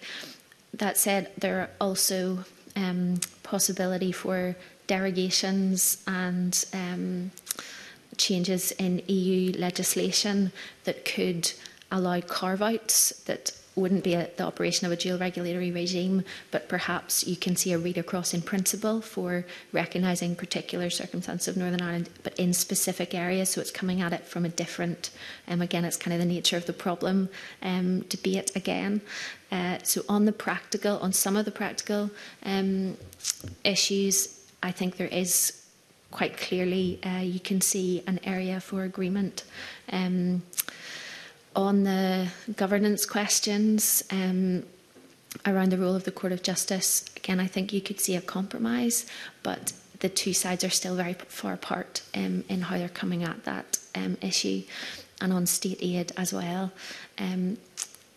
I would make the general point that the proposals, uh, particularly from the UK side, um, but also the proposals in general need more detail, and that detail isn't publicly available. Obviously, it's a negotiation, um, or it ought to be a negotiation, ideally. Um, but I'll, yeah, there's potential, but the politics are very difficult. Mr. Billington? There's one set of problems that need to be resolved, and that's the GB to NI flow. Well, that's what I see the main one for us there is the issue about jurisdiction of the European Court, but that's never really been raised by the business community because how can you have two different interpreta interpretations to the same rules on the EU borders? You can't. Um, but on this issue, the one observation I would make is that in solving the problem of GB to NI flow, we need to make sure we don't create new problems in NI to European flow. And every time I engage, I see a one dimensional discussion in terms of how far apart we are, if there was detailed policy underpinning what's in the bill uh, that gave us clear view of scope of the definition of trusted trader, etc., then you could form an opinion. Um, I believe, in principle, the UK, in terms of goods for final consumption, could deliver some good outcomes, but they have this binary view of the world that it either goes to Northern Ireland and never moves from it, Greenland or goes to Europe, red lane.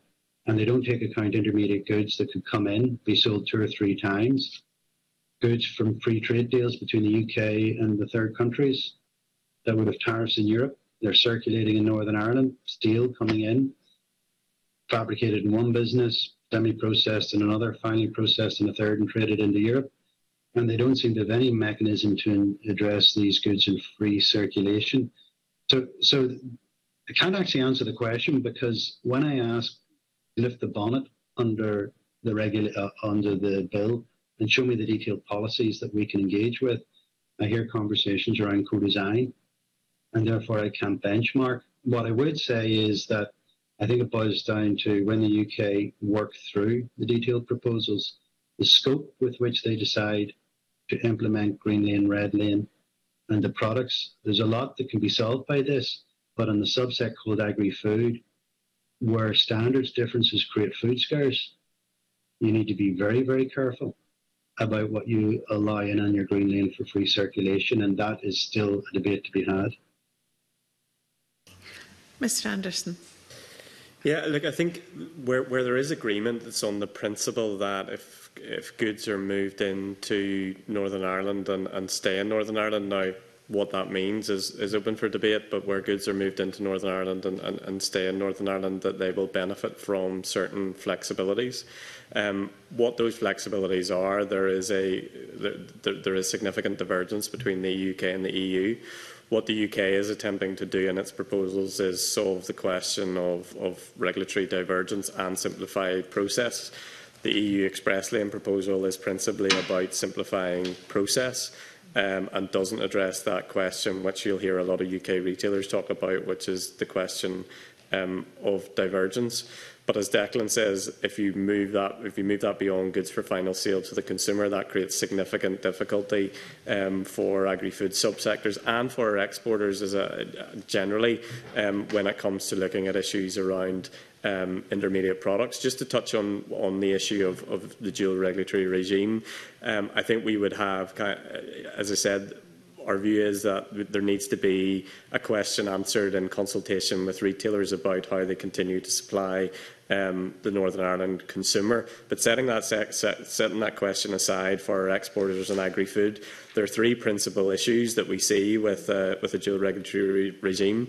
The first one is administrative. We've talked at length about the administrative challenges with the regime as it exists today. If you're going to double that workload potentially, um, what is that going to look like in practice? The second question then is operational. If you have Northern Irish firms by right being able to construct their goods in accordance accordance to UK standards. Commercially, how will that play out with their UK, UK customer, whilst they'll have to, uh, in theory, send goods built to EU standard to the south and, in, and on into Europe. So they're operationally going to have to meet two sets of, of standards, two sets of production lines, increase compliance costs and increase red tape. And then finally, the most important one is the reputational challenges and, and the potential that, that that creates. If we accept the principle that GB goods moving into Northern Ireland have to be subject to some form of trusted trader status, well then why are Northern Ireland businesses by definition of being in Northern Ireland trusted, all 70,000 of them, because they're operating within an open border? Well then what, what does that say for the reputation of, of, of, of Northern Ireland firms? And, the, and, and that's where I guess the difficulty is. It's not necessarily about the framework, but it's the response to that framework for, from the customer base within the EU that our members in particular are, are, are more most, most concerned about.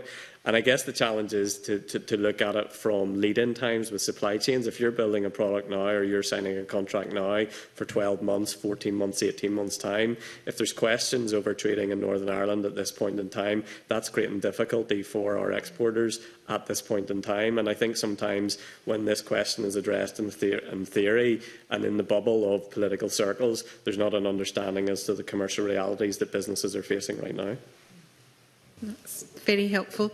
I don't see any indications of further questions from the committee, so um, just leaves me to thank you all for your contributions this morning and also to um, our advisor uh, Katie for being here with us today and for your briefings for the session today. It's all been really helpful and I'm sure it's something we will be returning to so we might see you again in the future. So I'm going to suspend for five minutes uh, to allow witnesses to change over.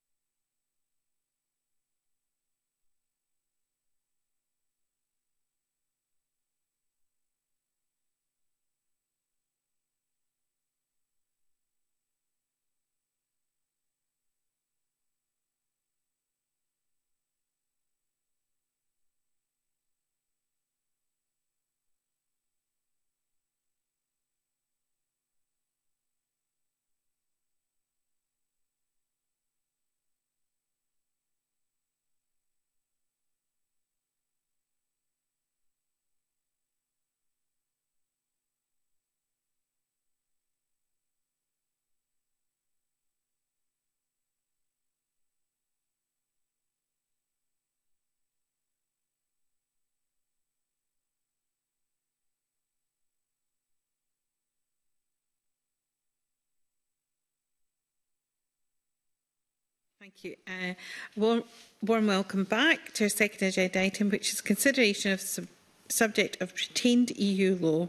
It's the fifth and final session in our series of meetings foc focusing on post-EU constitutional issues.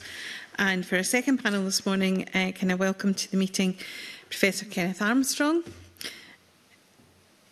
Professor of European Law at the University of Cambridge, Michael Clancy, OBE, Director of Law Reform Law Society of Scotland, um, both of whom are joining us online this morning.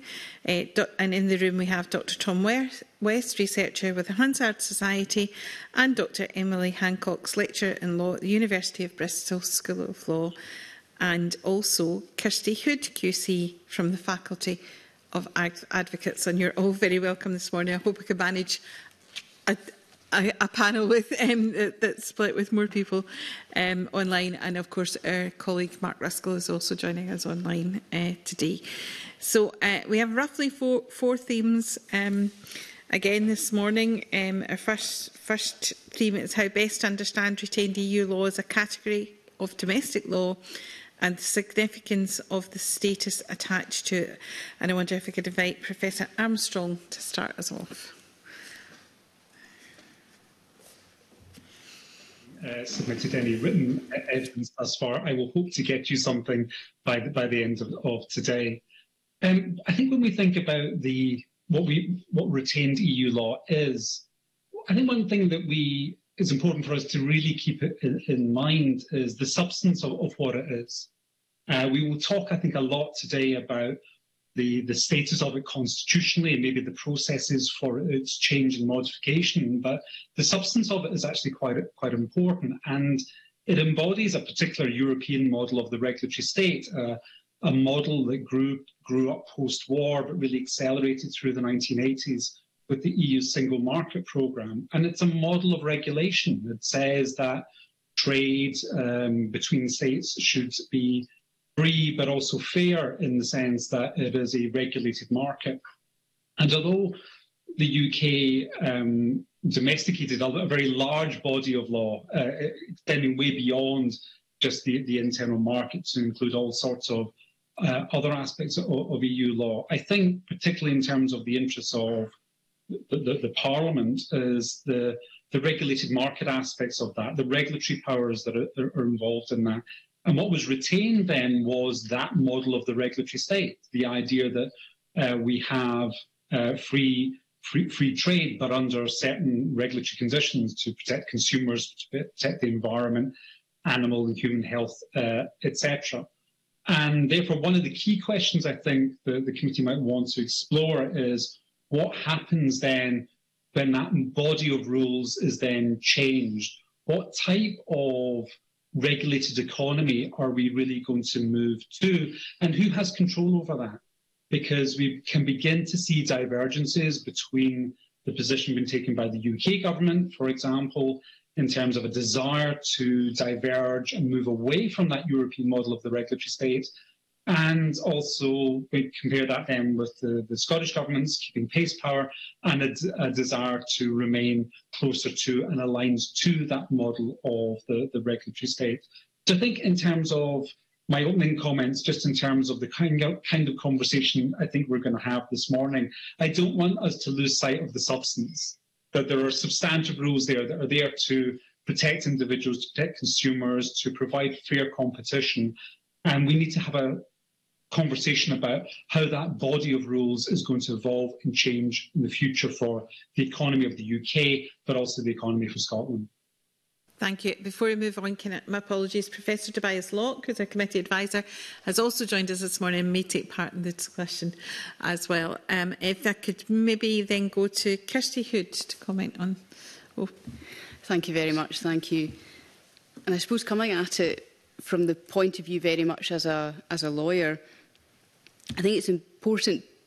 to understand and to, to see it from that perspective that simply the when the UK was an EU member state, then it meant it was subject to EU regulation and legislation.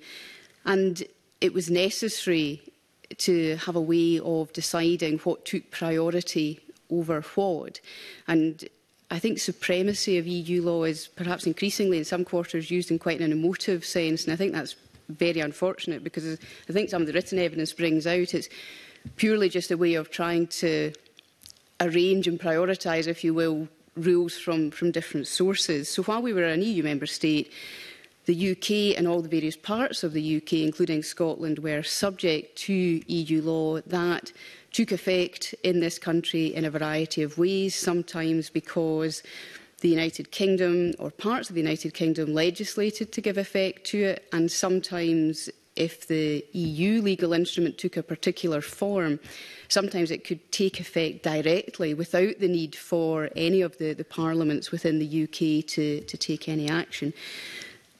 So that was, at the time when the decision was taken to come out of the, the EU, we had a situation where amongst the, the tapestry of law um, within the United Kingdom and all the parts of the, of the UK, we had EU laws as various threads of that tapestry, and it just raised an issue for, in terms of the legal system, it raised an issue as to, as to what was done about that. And as is quite normal with constitutional change, with constitutional change, it, it isn't necessary to have a complete reset of the laws. It, isn't necessary. Indeed, it, I think it would be quite unusual when there's constitutional change, however far-reaching, for laws to be simply repealed or revoked. So, unsurprisingly, as has happened in many occasions before, and, and particularly to avoid any kind of cliff edge change or a vacuum, it was provided that the various strands of the tapestry of the law which had been derived from the EU would remain part of the law in the UK and that that would allow the various parliaments, depending upon their, their powers in the areas, that would allow them at leisure to decide to retain, to decide to amend, to make it fit better, perhaps with a new situation, or to um, to revoke it altogether. And of course, there were some things which, even as at the end of the transition period, There were some pieces of EU law where it was immediately apparent that they they wouldn't be suitable for them to be retained. Some of them, for example, relied on reciprocity. Um, for example, with judgment recognition, um, the, the, idea that there should be a free flow of judgment be between judgments, uh, legal judgments between the EU member states. That was something which relies upon everybody recognising each other's judgments and just a consequence of coming out the EU and not making a new judgment recognition arrangement with the EU was that these things could not, could not be unilaterally given effect to. They would stop working, as it were. So there were some things that immediately uh, were, were not retained as at the end of the transition period or implementation period, depending upon the, the particular text um, eh, description of that period. But other things were simply retained within the system. And as I say, that allows the leisure to the various parliaments to decide whether they want to, to alter that law or retain it. And I suppose what I would say too is in terms of alteration, um, that could mean a number of things. It could mean altering it because in terms of a new situation or reality, it seems uh, perhaps inappropriate, or it could be we're talking about, when we think about retained EU law, we're thinking about EU law roughly approximately as it was at, as at the end of the transition period. But of course, given the keeping pace um, agenda there, then that could also mean changing retained EU law in order to keep pace. So, uh, eh, EU eh, e law obviously isn't preserved in aspect, it will change as, as we go through the years. So, as I say, I think, I think it's perhaps from a, a lawyer's point of view, it is important to try and remove some of the emotion from it and just see EU law as as a part of. We're in, we were in the European Union for a, a long time. There's a great many different laws, sometimes very, very detailed and technical across many, many areas of our legal system and the various devices, legal devices which were used, to keep that within the system so they can be kept or changed. And it is necessary in terms of, I suppose my final comment on this. In, in terms of this idea of the supremacy of EU law, this idea that you had to try and prioritise, if on the face of it there seemed to be a conflict between some sort of domestic statute and the pan-European, um, that concept of, of supremacy is something which is woven very firmly into the tapestry. So if courts are having to look back at what the law was whilst we were within the EU and look at how the law operated um, at that time, then it is, it would be, it seems to me quite normal and necessary for a court to consider how these particular phrases within EU legislation were interpreted and also to approach the way in which they interacted with domestic legislation while we were in a member state in the way they always did and it gives some certainty to uh, litigants and, and general members of the public. Thank you. Um, Dr Hancox, please. Um, thank you. Um, so I suppose I was want to echo kind of or to make two points when we're thinking about retained EU law. And, and I suppose the first is, is about what retained EU law is. Um, in terms of why we retained EU law, which is really about thinking about kind of legal continuity and legal certainty. And in this way, I think retained EU law while I would say that it is a category or source of domestic law, it is quite a disparate source. So, you know, we find retained EU law not only in statutory instruments, not only in acts of parliament, but we also have these kind of new converted categories. So, um, like direct EU legislation, which covers, say, EU regulations, which previously took effect by virtue of the European Communities Act and also kind of other converted rights, so treaty rights, say. And, and if you look to the retained EU law dashboard, you can also see some case law as well and general principles in this kind of um, uh, residual category. And so, in some ways, retained EU law as a category was necessary to convert legislation which or convert EU regulations, which otherwise um, kind of the, the conduit pipe is said of the European Communities Act would have been cut off. But retained EU law also reflects the fact of, as um, has already been mentioned, the, the principle of supremacy or the primacy of EU law, um, the, the various requirements in terms of the interpretation of EU law and also domestic law. Um, so there are various kind of legal consequences, I suppose, which attach to a measure falling within the category of retained EU law. And this all really reflects a kind of desire to maintain legal certainty and continuity following the UK's departure from the EU.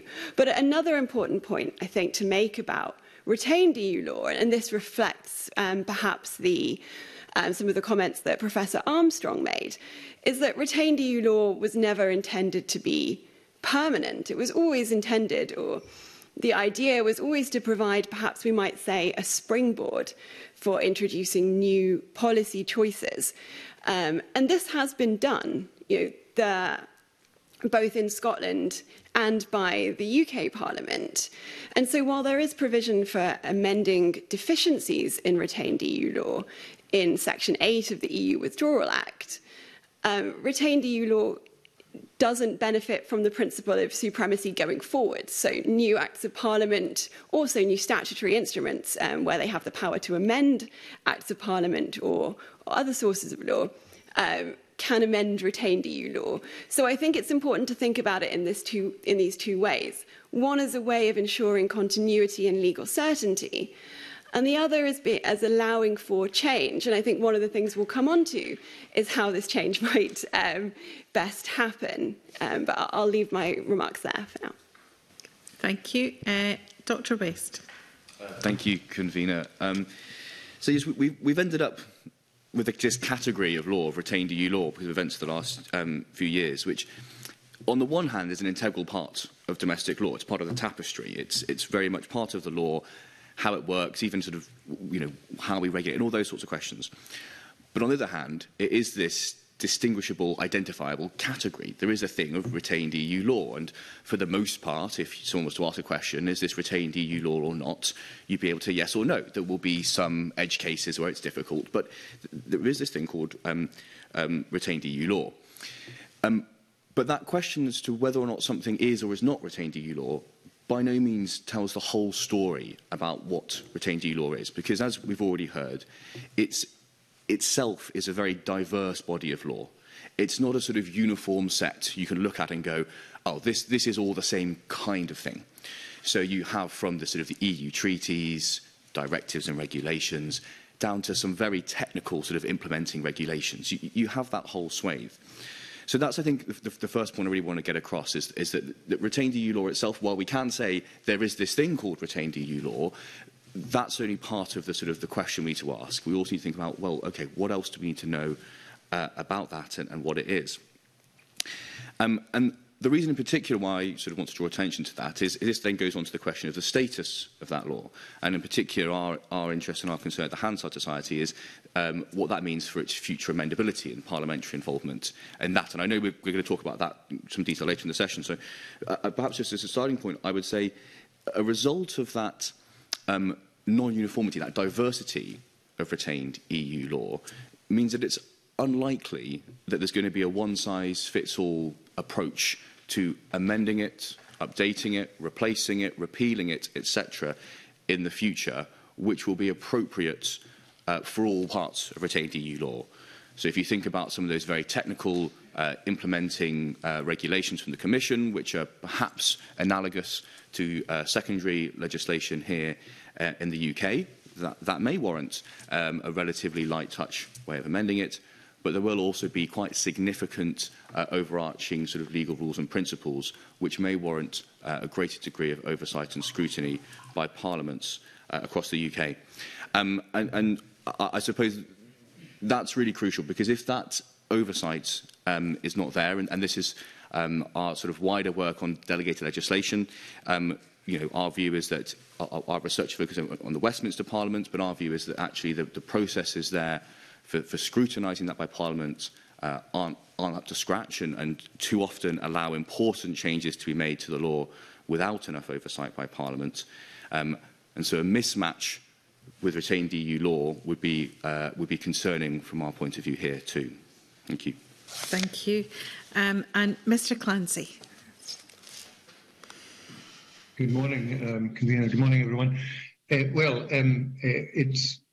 tempting to uh, uh offer some kind of a critique on what we've already heard, um, uh, and uh, I probably should forbear on that. But um, let me pick out some of the themes that, that have come out of the discussion so far. So, um, the, the, reason for retained EU law, well, um, as I mentioned in the Society's submission, uh, which uh, for which I apologise being uh, rather late yesterday. Um, when Theresa May was discussing the, the UK's withdrawal from the European Union um, in the white paper, um, she was speaking about requiring certainty after uh, the UK uh, had left the European Union. And that, I think, was one of the main things which the Law Society of Scotland was advocating um, at, at, the time when uh, the, uh, the build up to the referendum was taking place that if the, the UK was to leave the European Union, uh, then there should be certainty about the law, um, no matter um, what uh, what that law was. It should at least be certain uh, after the day, because of course uh, people require certainty and knowledge about the law. And I hear what Dr. West has said about the diversity of retained EU law. Well, of course, uh, there was diversity about EU law um, uh, too. Uh, so um, sometimes we have to think uh, uh, that it, uh, it, wasn't always absolutely certain um, what was applicable at any one point, and that is why we had access to the European Court of Justice to determine those points where there might have been doubt about applicability or the interpretation of the law which was in place.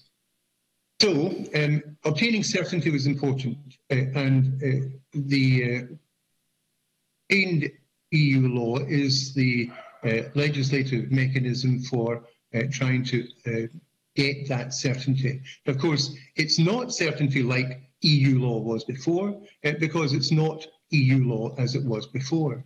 and I can go in great detail as as uh, as everyone uh, around the table can hear, do, um, uh, about the various categories of retained EU law, about EU-derived domestic legislation, direct EU legislation, and other rights and obligations, and also those parts of EU law which were left behind, such as the Charter of Fundamental Rights.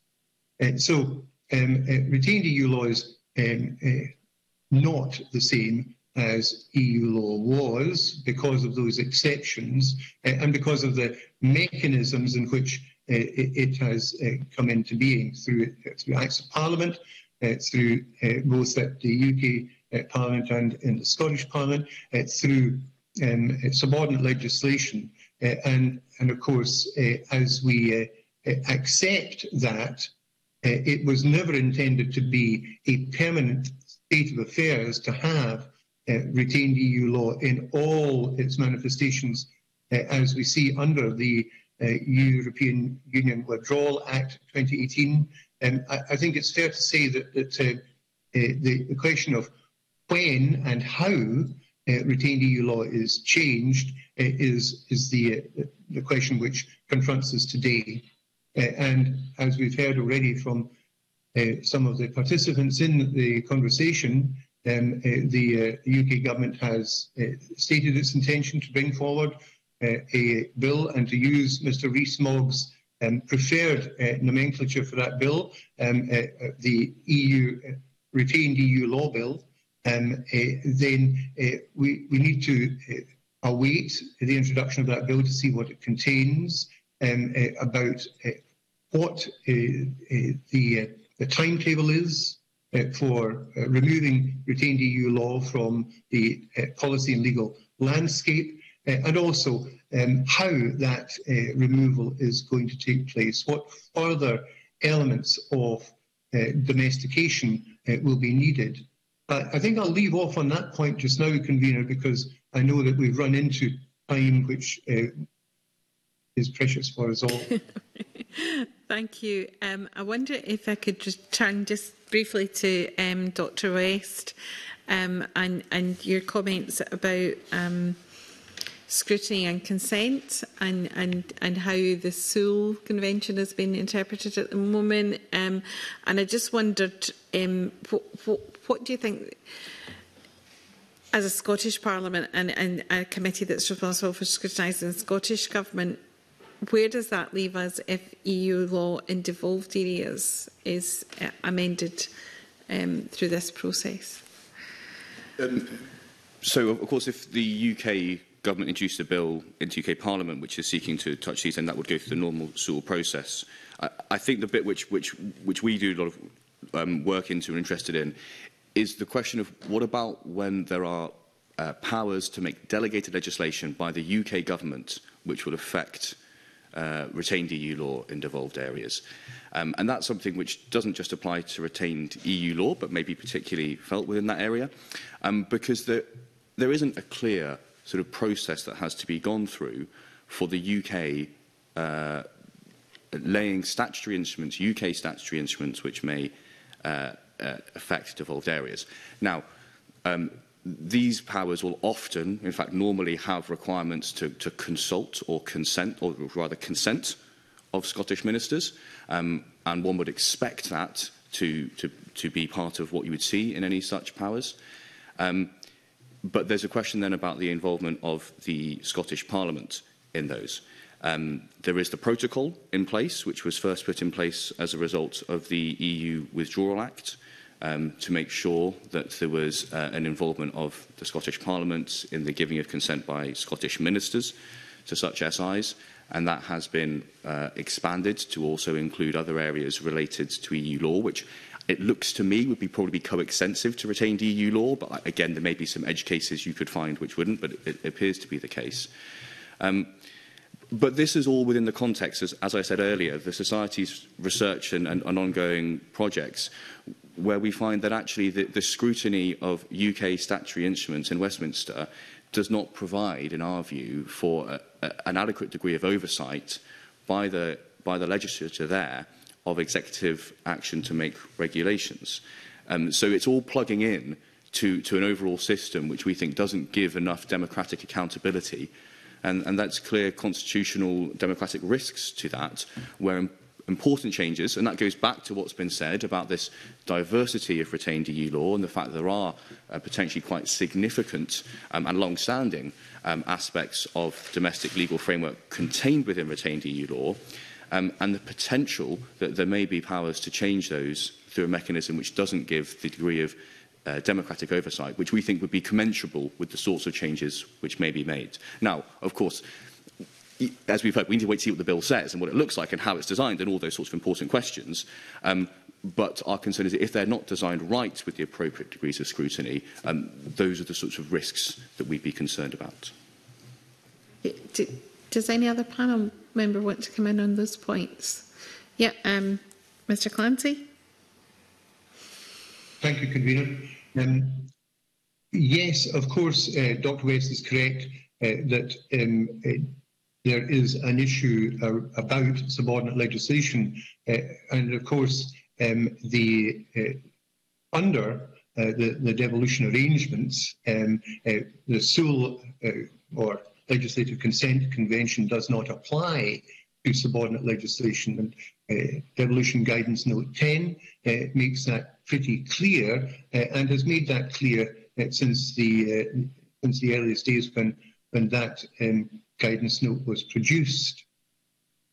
So what we are left with is that UK legislation can contain a power for UK ministers, as Dr. West has described, uh, to make a subordinate legislation which can apply in Scotland. And um, I, eh, I don't need to remind the committee of the, the, the, trials and tribulations that it faced in terms of uh, consideration of the UK internal market bill, um, now Act 2020, or the professional qualifications uh, Act uh, of 2022, uh, which contain pretty similar provisions about um, UK ministers being able to make um, subordinate legislation, which then is put to um, well to consult with, yes, um, but is perhaps put to Scottish ministers to consent, and then uh, if Scottish ministers do not consent within a specified period of time, uh, then to be able to proceed with that legislation, uh, all the while um, uh,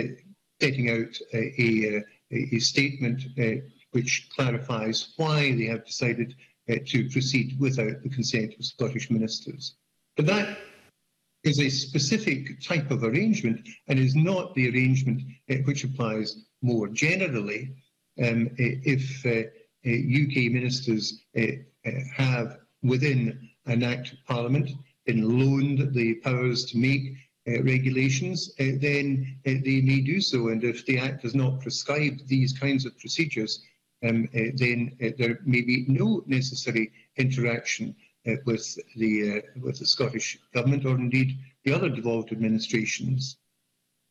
I think that that's important because the the the lack of a proper consultation arrangement at the very least is one of the things which the Law Society has been very concerned about, not just in terms of connectivity over UK ministers enacting subordinate legislation which might apply in devolved areas, but also um, uh, the actions of Scottish ministers making regulations that they should, they too should consult uh, with uh, relevant interests before doing so.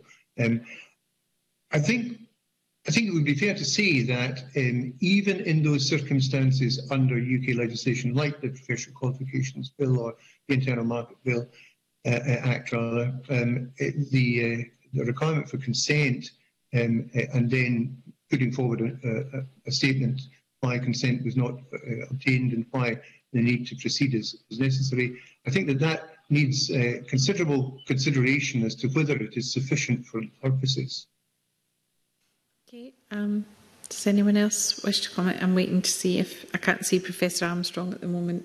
Um, does he wish to come in at the moment? Uh, mm. Questions that they want, they want to ask, happy to, to deal with that. Okay, thank you. I'm going to move to a question from Dr. Armstrong. Convener, um, good morning again, uh, Mr. Clancy. Uh, good to see you again in committee. Um, the Law Society um, made a written submission, which you alluded to there, which made some interesting historical comparisons. Um, 1560, 1707 and 1999 being uh, dates when bodies of law were retained.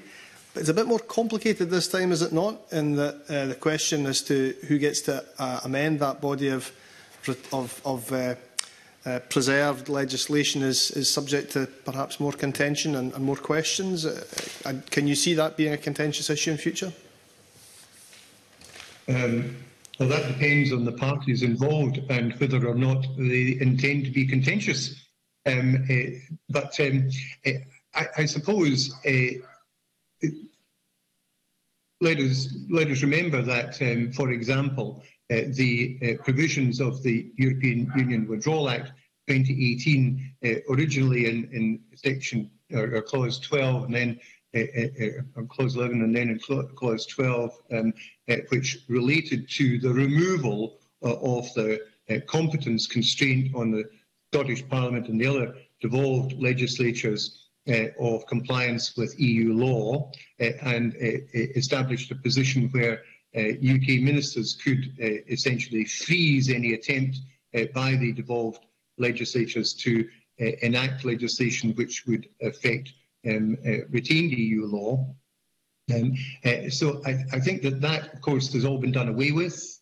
Um, the relevant statutory instrument which was passed um, earlier this year um, was, essentially allowed Section 12 to slip into uh, memory rather than uh, be uh, anything which bit on the uh, competence of, of uh, the Parliament to legislate.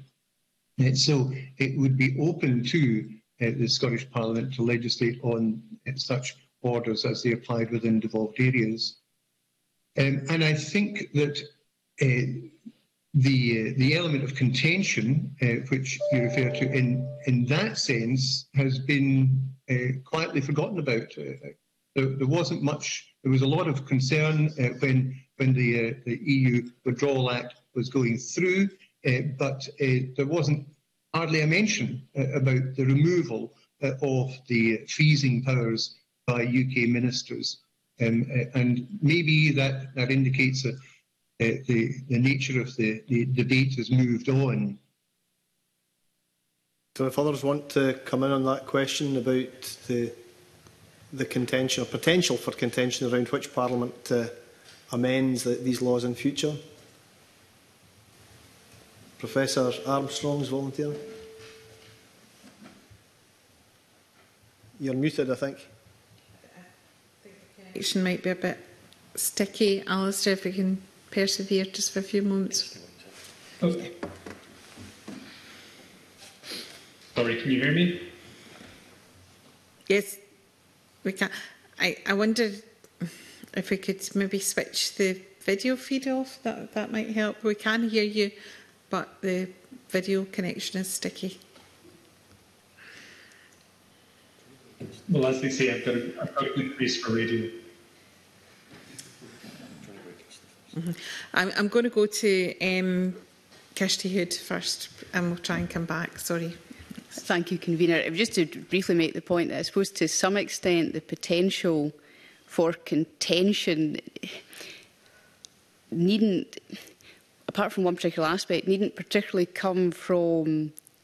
um, the status as retained EU law, but, but simply holds a mirror up to the potential for contention more generally. The sort of issues, for example, with the Sewell Convention, the extent to which that is enforceable, the, the way in which that's given effect to technically, these kind of matters are just matters that apply more generally. So to some extent, the potential for contention is, is perhaps just what is always there, subject only to the, the, the one particular additional aspect, which is not so much from the strict, narrow, retained EU law idea, but the generality of the situation that when when you had a, a, a pan-European apparatus where there was a need for consensus between a number of states with very disparate interests and where there's need for flexibility and a number of states of different sizes.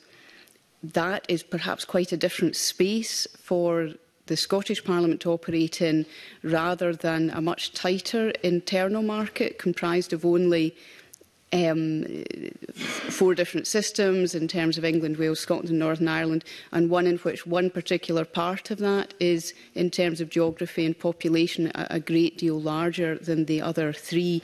So that it brings a, a quite a different situation. But other than that, I think the contention perhaps are just, it may, it, it may emphasise themes that are already there, but it's probably themes that are already there.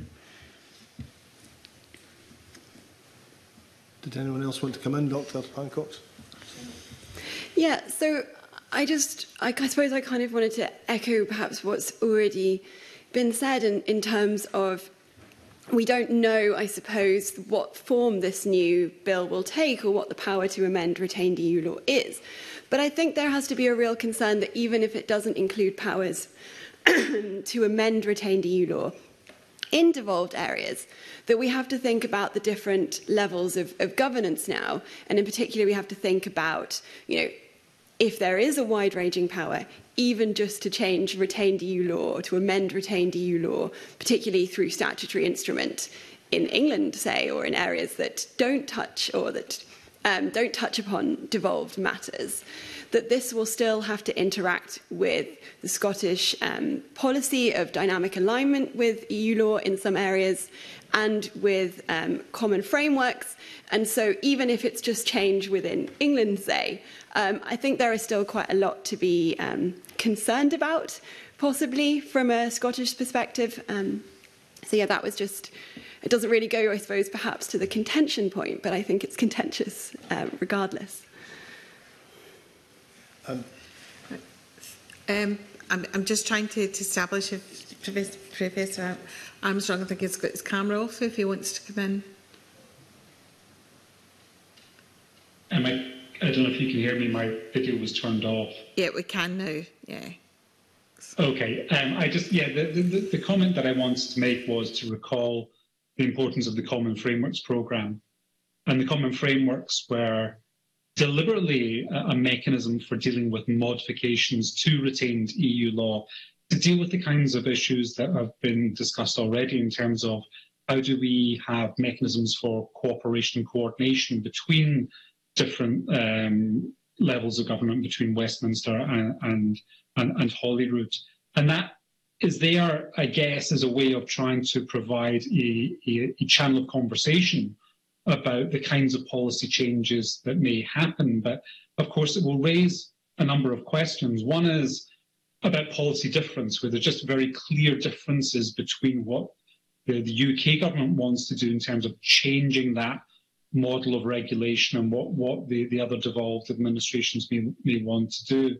And I guess there's also then the question about parliamentary scrutiny, these intergovernmental mechanisms are, are good in the sense that they, they provide that channel of co- cooperation and communication, but they may be very hard for parliaments to get a, a handle on in terms of, well, what emerges out of those types of process? What kinds of agreements, um, for example, and you talked about gene editing, I think, in, in an earlier uh, discussion. At what point do do do, uh, do we find compromises there, and, and what sort of parliamentary oversight is there on, on when rules will remain aligned internally within the UK and when they, they, they will diverge. So that was important to remind us that the Common Frameworks Programme is there. It's, it's intended to be a structure for, for cooperation and communication, but it, in and of itself, I think it raises some of the same types of scrutiny challenge that uh, Dr. West was talking about in terms of the scrutiny of secondary legislation.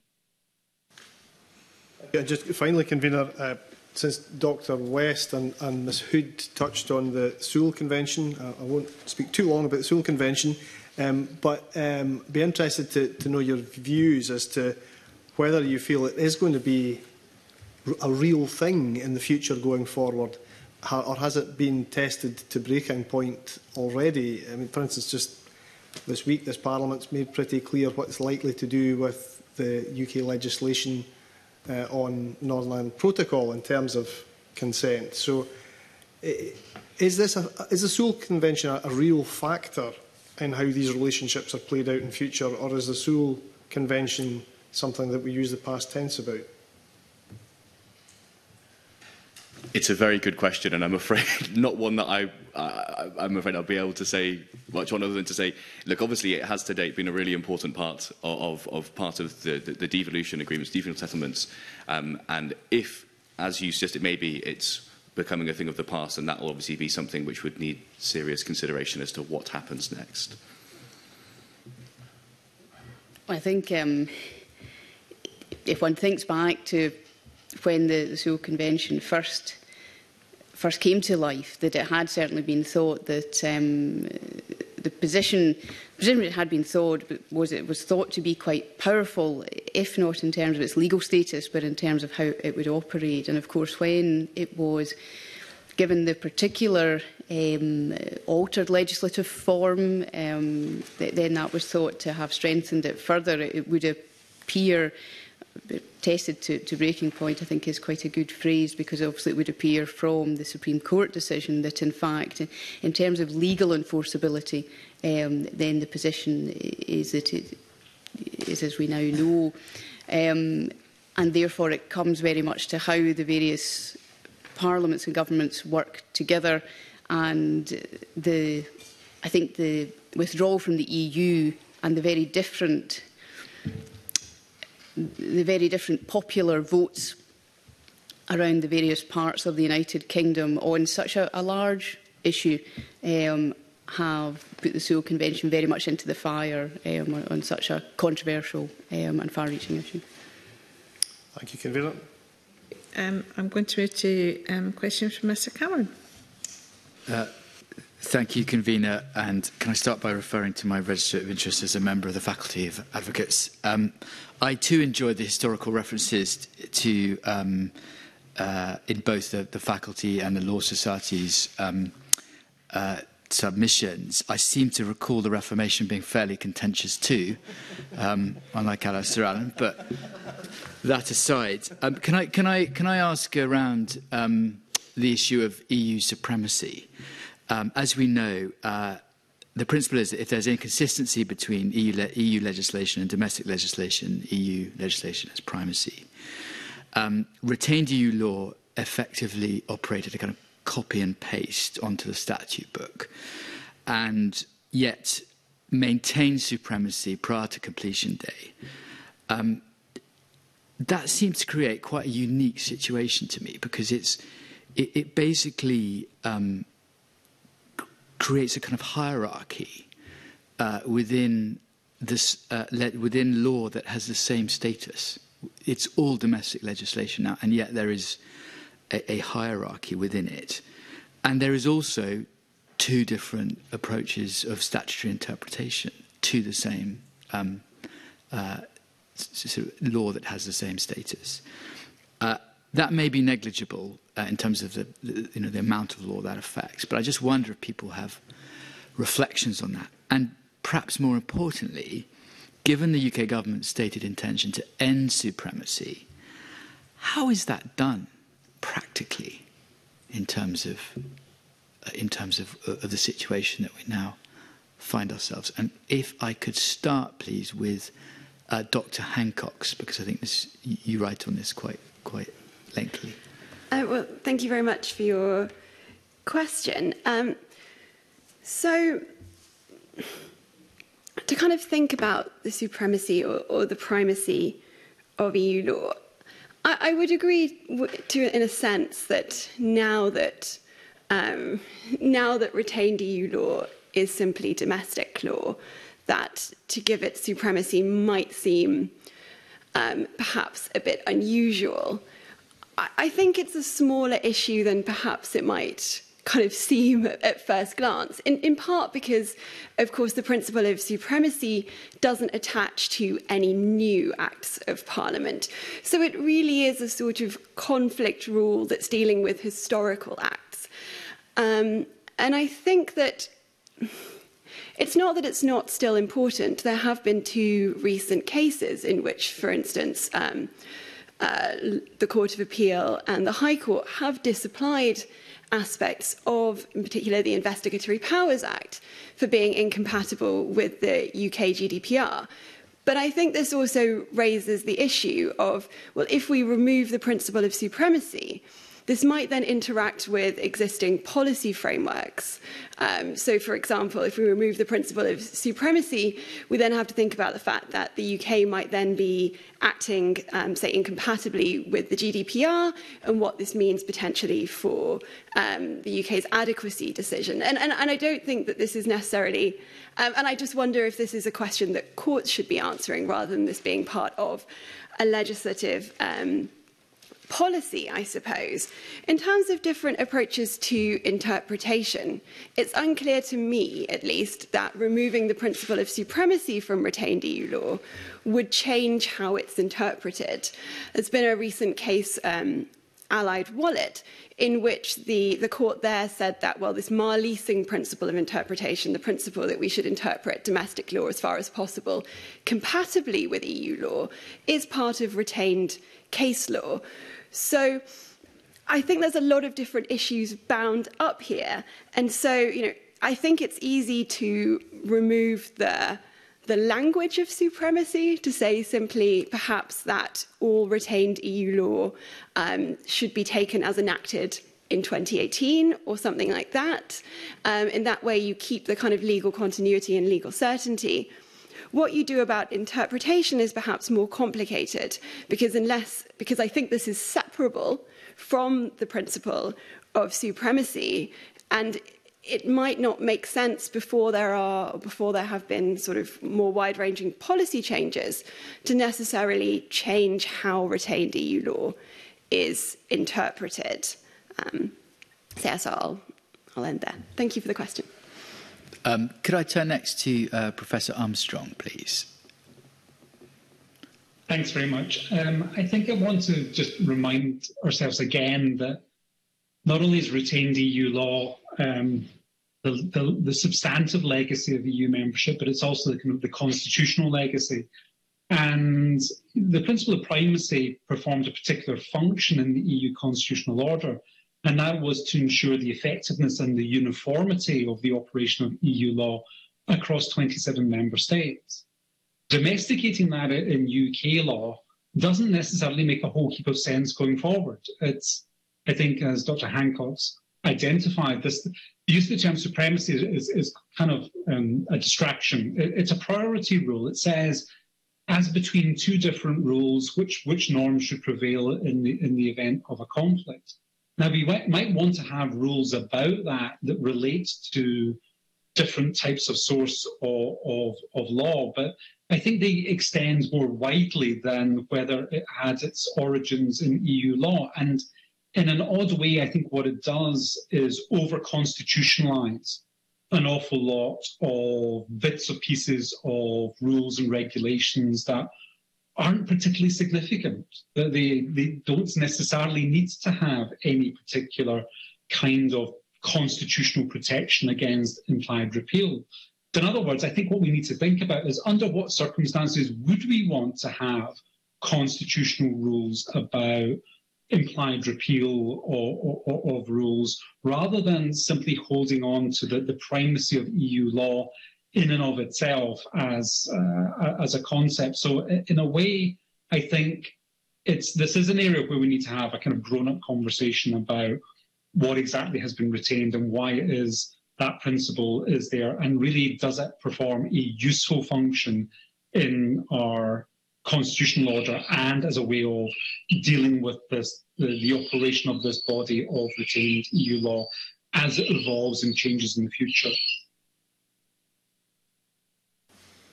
Can I turn to Tobias Locke, the, uh, the advisor to the committee? Well, well, thank you. I mean, maybe just briefly, I think, um, if I remember correctly, the House of Lords committee uh, at the time did, did object to supremacy being in uh, the uh, Act, and they proposed that everything should have the status of primary legislation instead, which of course would have over-constitutionalized things even more.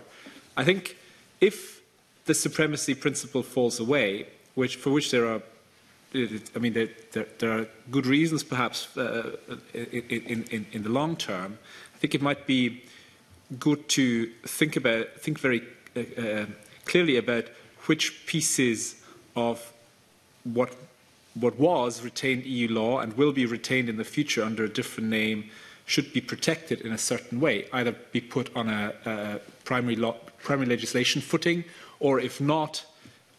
introduce some form of, of protection, maybe in those individual pieces. Uh, so um, that is, of course, a difficult decision because you have to go through the entire statute book of retained EU law and prioritize certain policy decisions over others or certain elements over others. But uh, I think that, that might be a way to resolve this uh, in, a, in, a, in a less sweeping manner.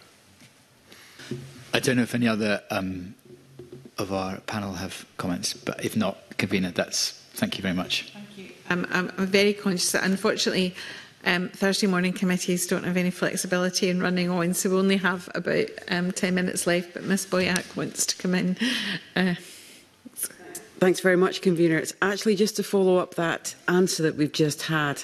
Um, I would like to ask um, from a devolved perspective, what are the specific issues that could arise from cha changing the status of and basis for amending retained EU law, which should be taken into account of in the future? And I'm thinking particularly in terms of our job um, as a committee. We've already heard comments about scrutiny, the challenges. So what areas would you suggest we start thinking about focusing on?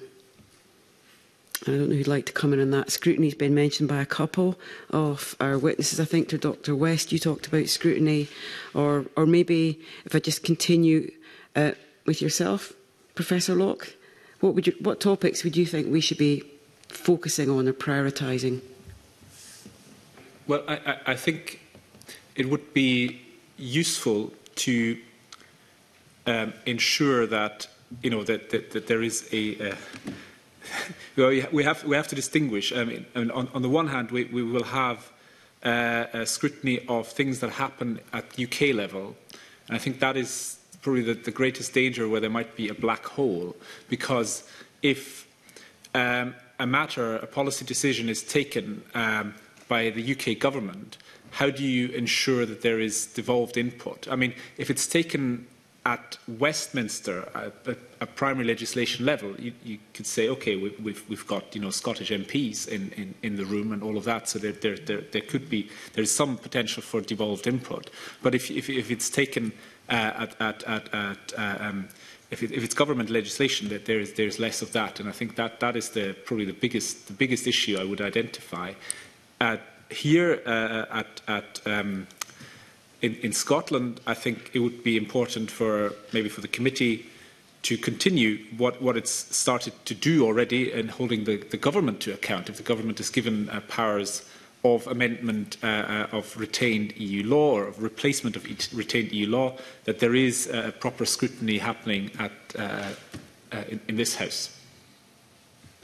I think that's very clear. I think one of the things we've talked about before is the cross-parliamentary liaison. For example, we've got the um, parliamentary focus where we've got UK parliamentarians talking to the European Parliament we are in the room but we don't have speaking rights.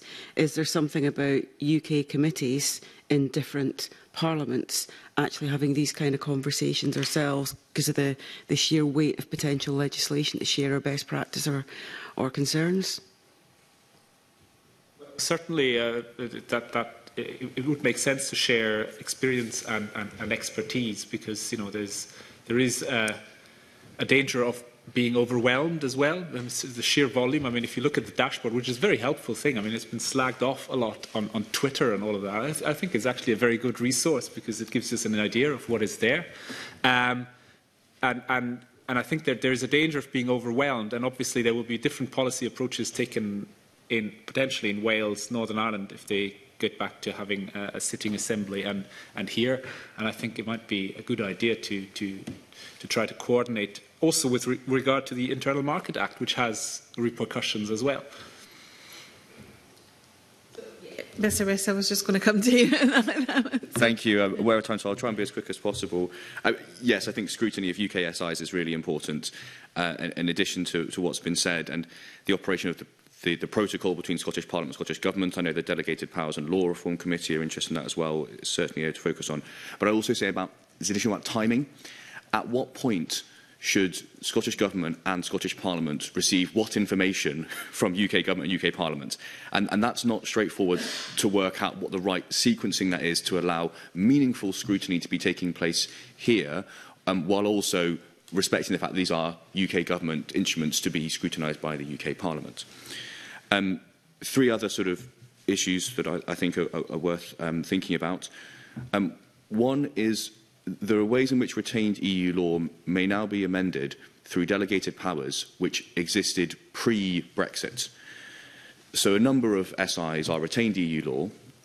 Many of them are made under the, the Section 22 European Communities Act power, but many also are made concurrently with other powers.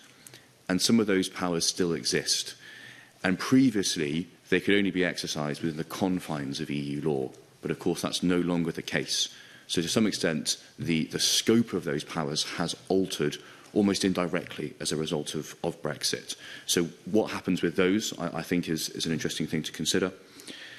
Um, in terms of new powers, so within the Brexit Freedoms Bill or within other bills, there's also a question about sort of how long those powers last for. I think there's some uncertainty right now as to whether or not those powers will be sort of one-off or sunsetted powers, which allow a decision to be made to sort of repeal or do a one-off update, and then in a certain amount of time they will, they will go, or whether they're powers which will be indefinite. And if it's the latter, what that essentially is doing is potentially giving sort of policy-making power on an ongoing basis to the executives. So, so that's, again, another area which I think it's really worth um, thinking about. Um, and, and lastly, Um, something which we in, in, in, in our work in general look at in terms of how uh, uh, Parliament, and again, like I say, our, our work is focused on the Westminster Parliament, but similar principles may well apply, is the idea of sifting statutory instruments. Many, many are technical, uncontroversial, and do not require um, sort of significant amounts of time to be spent looking at them, but some aren't. And so mechanisms um, which allow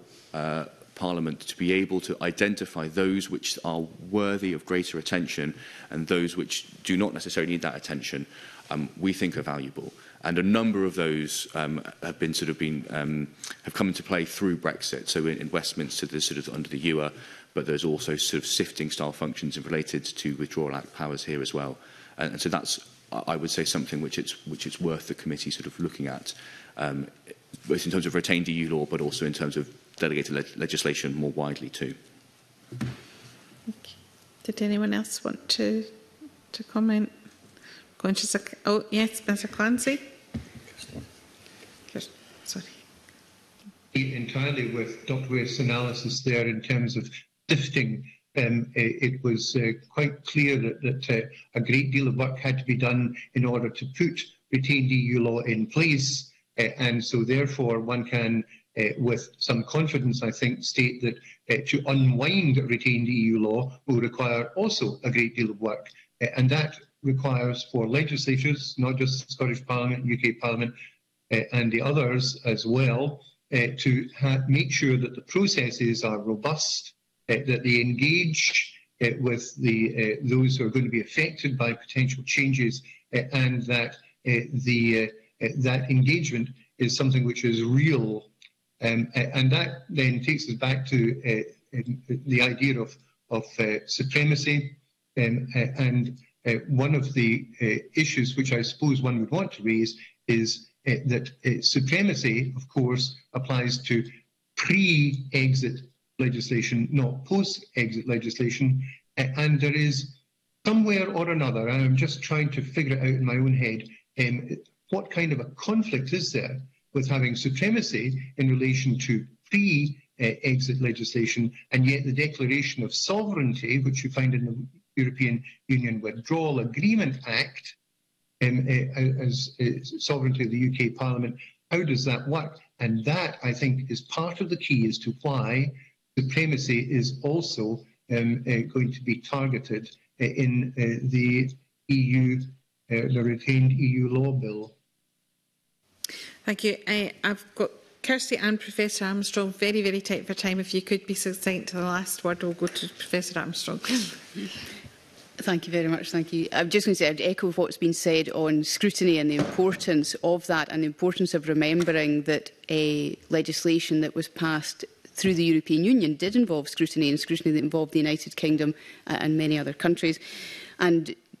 just very briefly two other points to stress, picking up what Michael Clancy has just said. Eh, and it's about certainty and continuity that remembering that where we are preserving hierarchies which were in place in terms of how we understood, applied and interpreted the law um, prior to the withdrawal, that it does provide certainty and continuity for members of the public to, to maintain that apparatus in a, in a sensible way. And lastly, just to perhaps also say in terms of thinking about eh, these topics going forward, just to stress again what many have said, that it's important to not think of EU law and of retained EU law as some sort of monolith. It covers such a wide subject area and a very wide range of different sources um, and, and ways of that legislation having come into being. Thank you. Professor Armstrong. Just one very quick point. I think Kirsty said earlier about legislatures being able to make modifications at their at their leisure uh, uh as circumstances evolve. One thing I think we'll need to look out for in this uh, EU retained law bill is whether is, there is more automaticity of the sunsetting of retained EU law, which would then mean that legislatures at different levels would have to think very carefully about what they'd want to put in place to replace any of those uh, retained EU law rules that would automatically fall away. Now, I don't know whether this is is or is not going to be a feature of the bill, but if it is a feature, it will require action by legislatures and therefore will require, of course, engagement by committees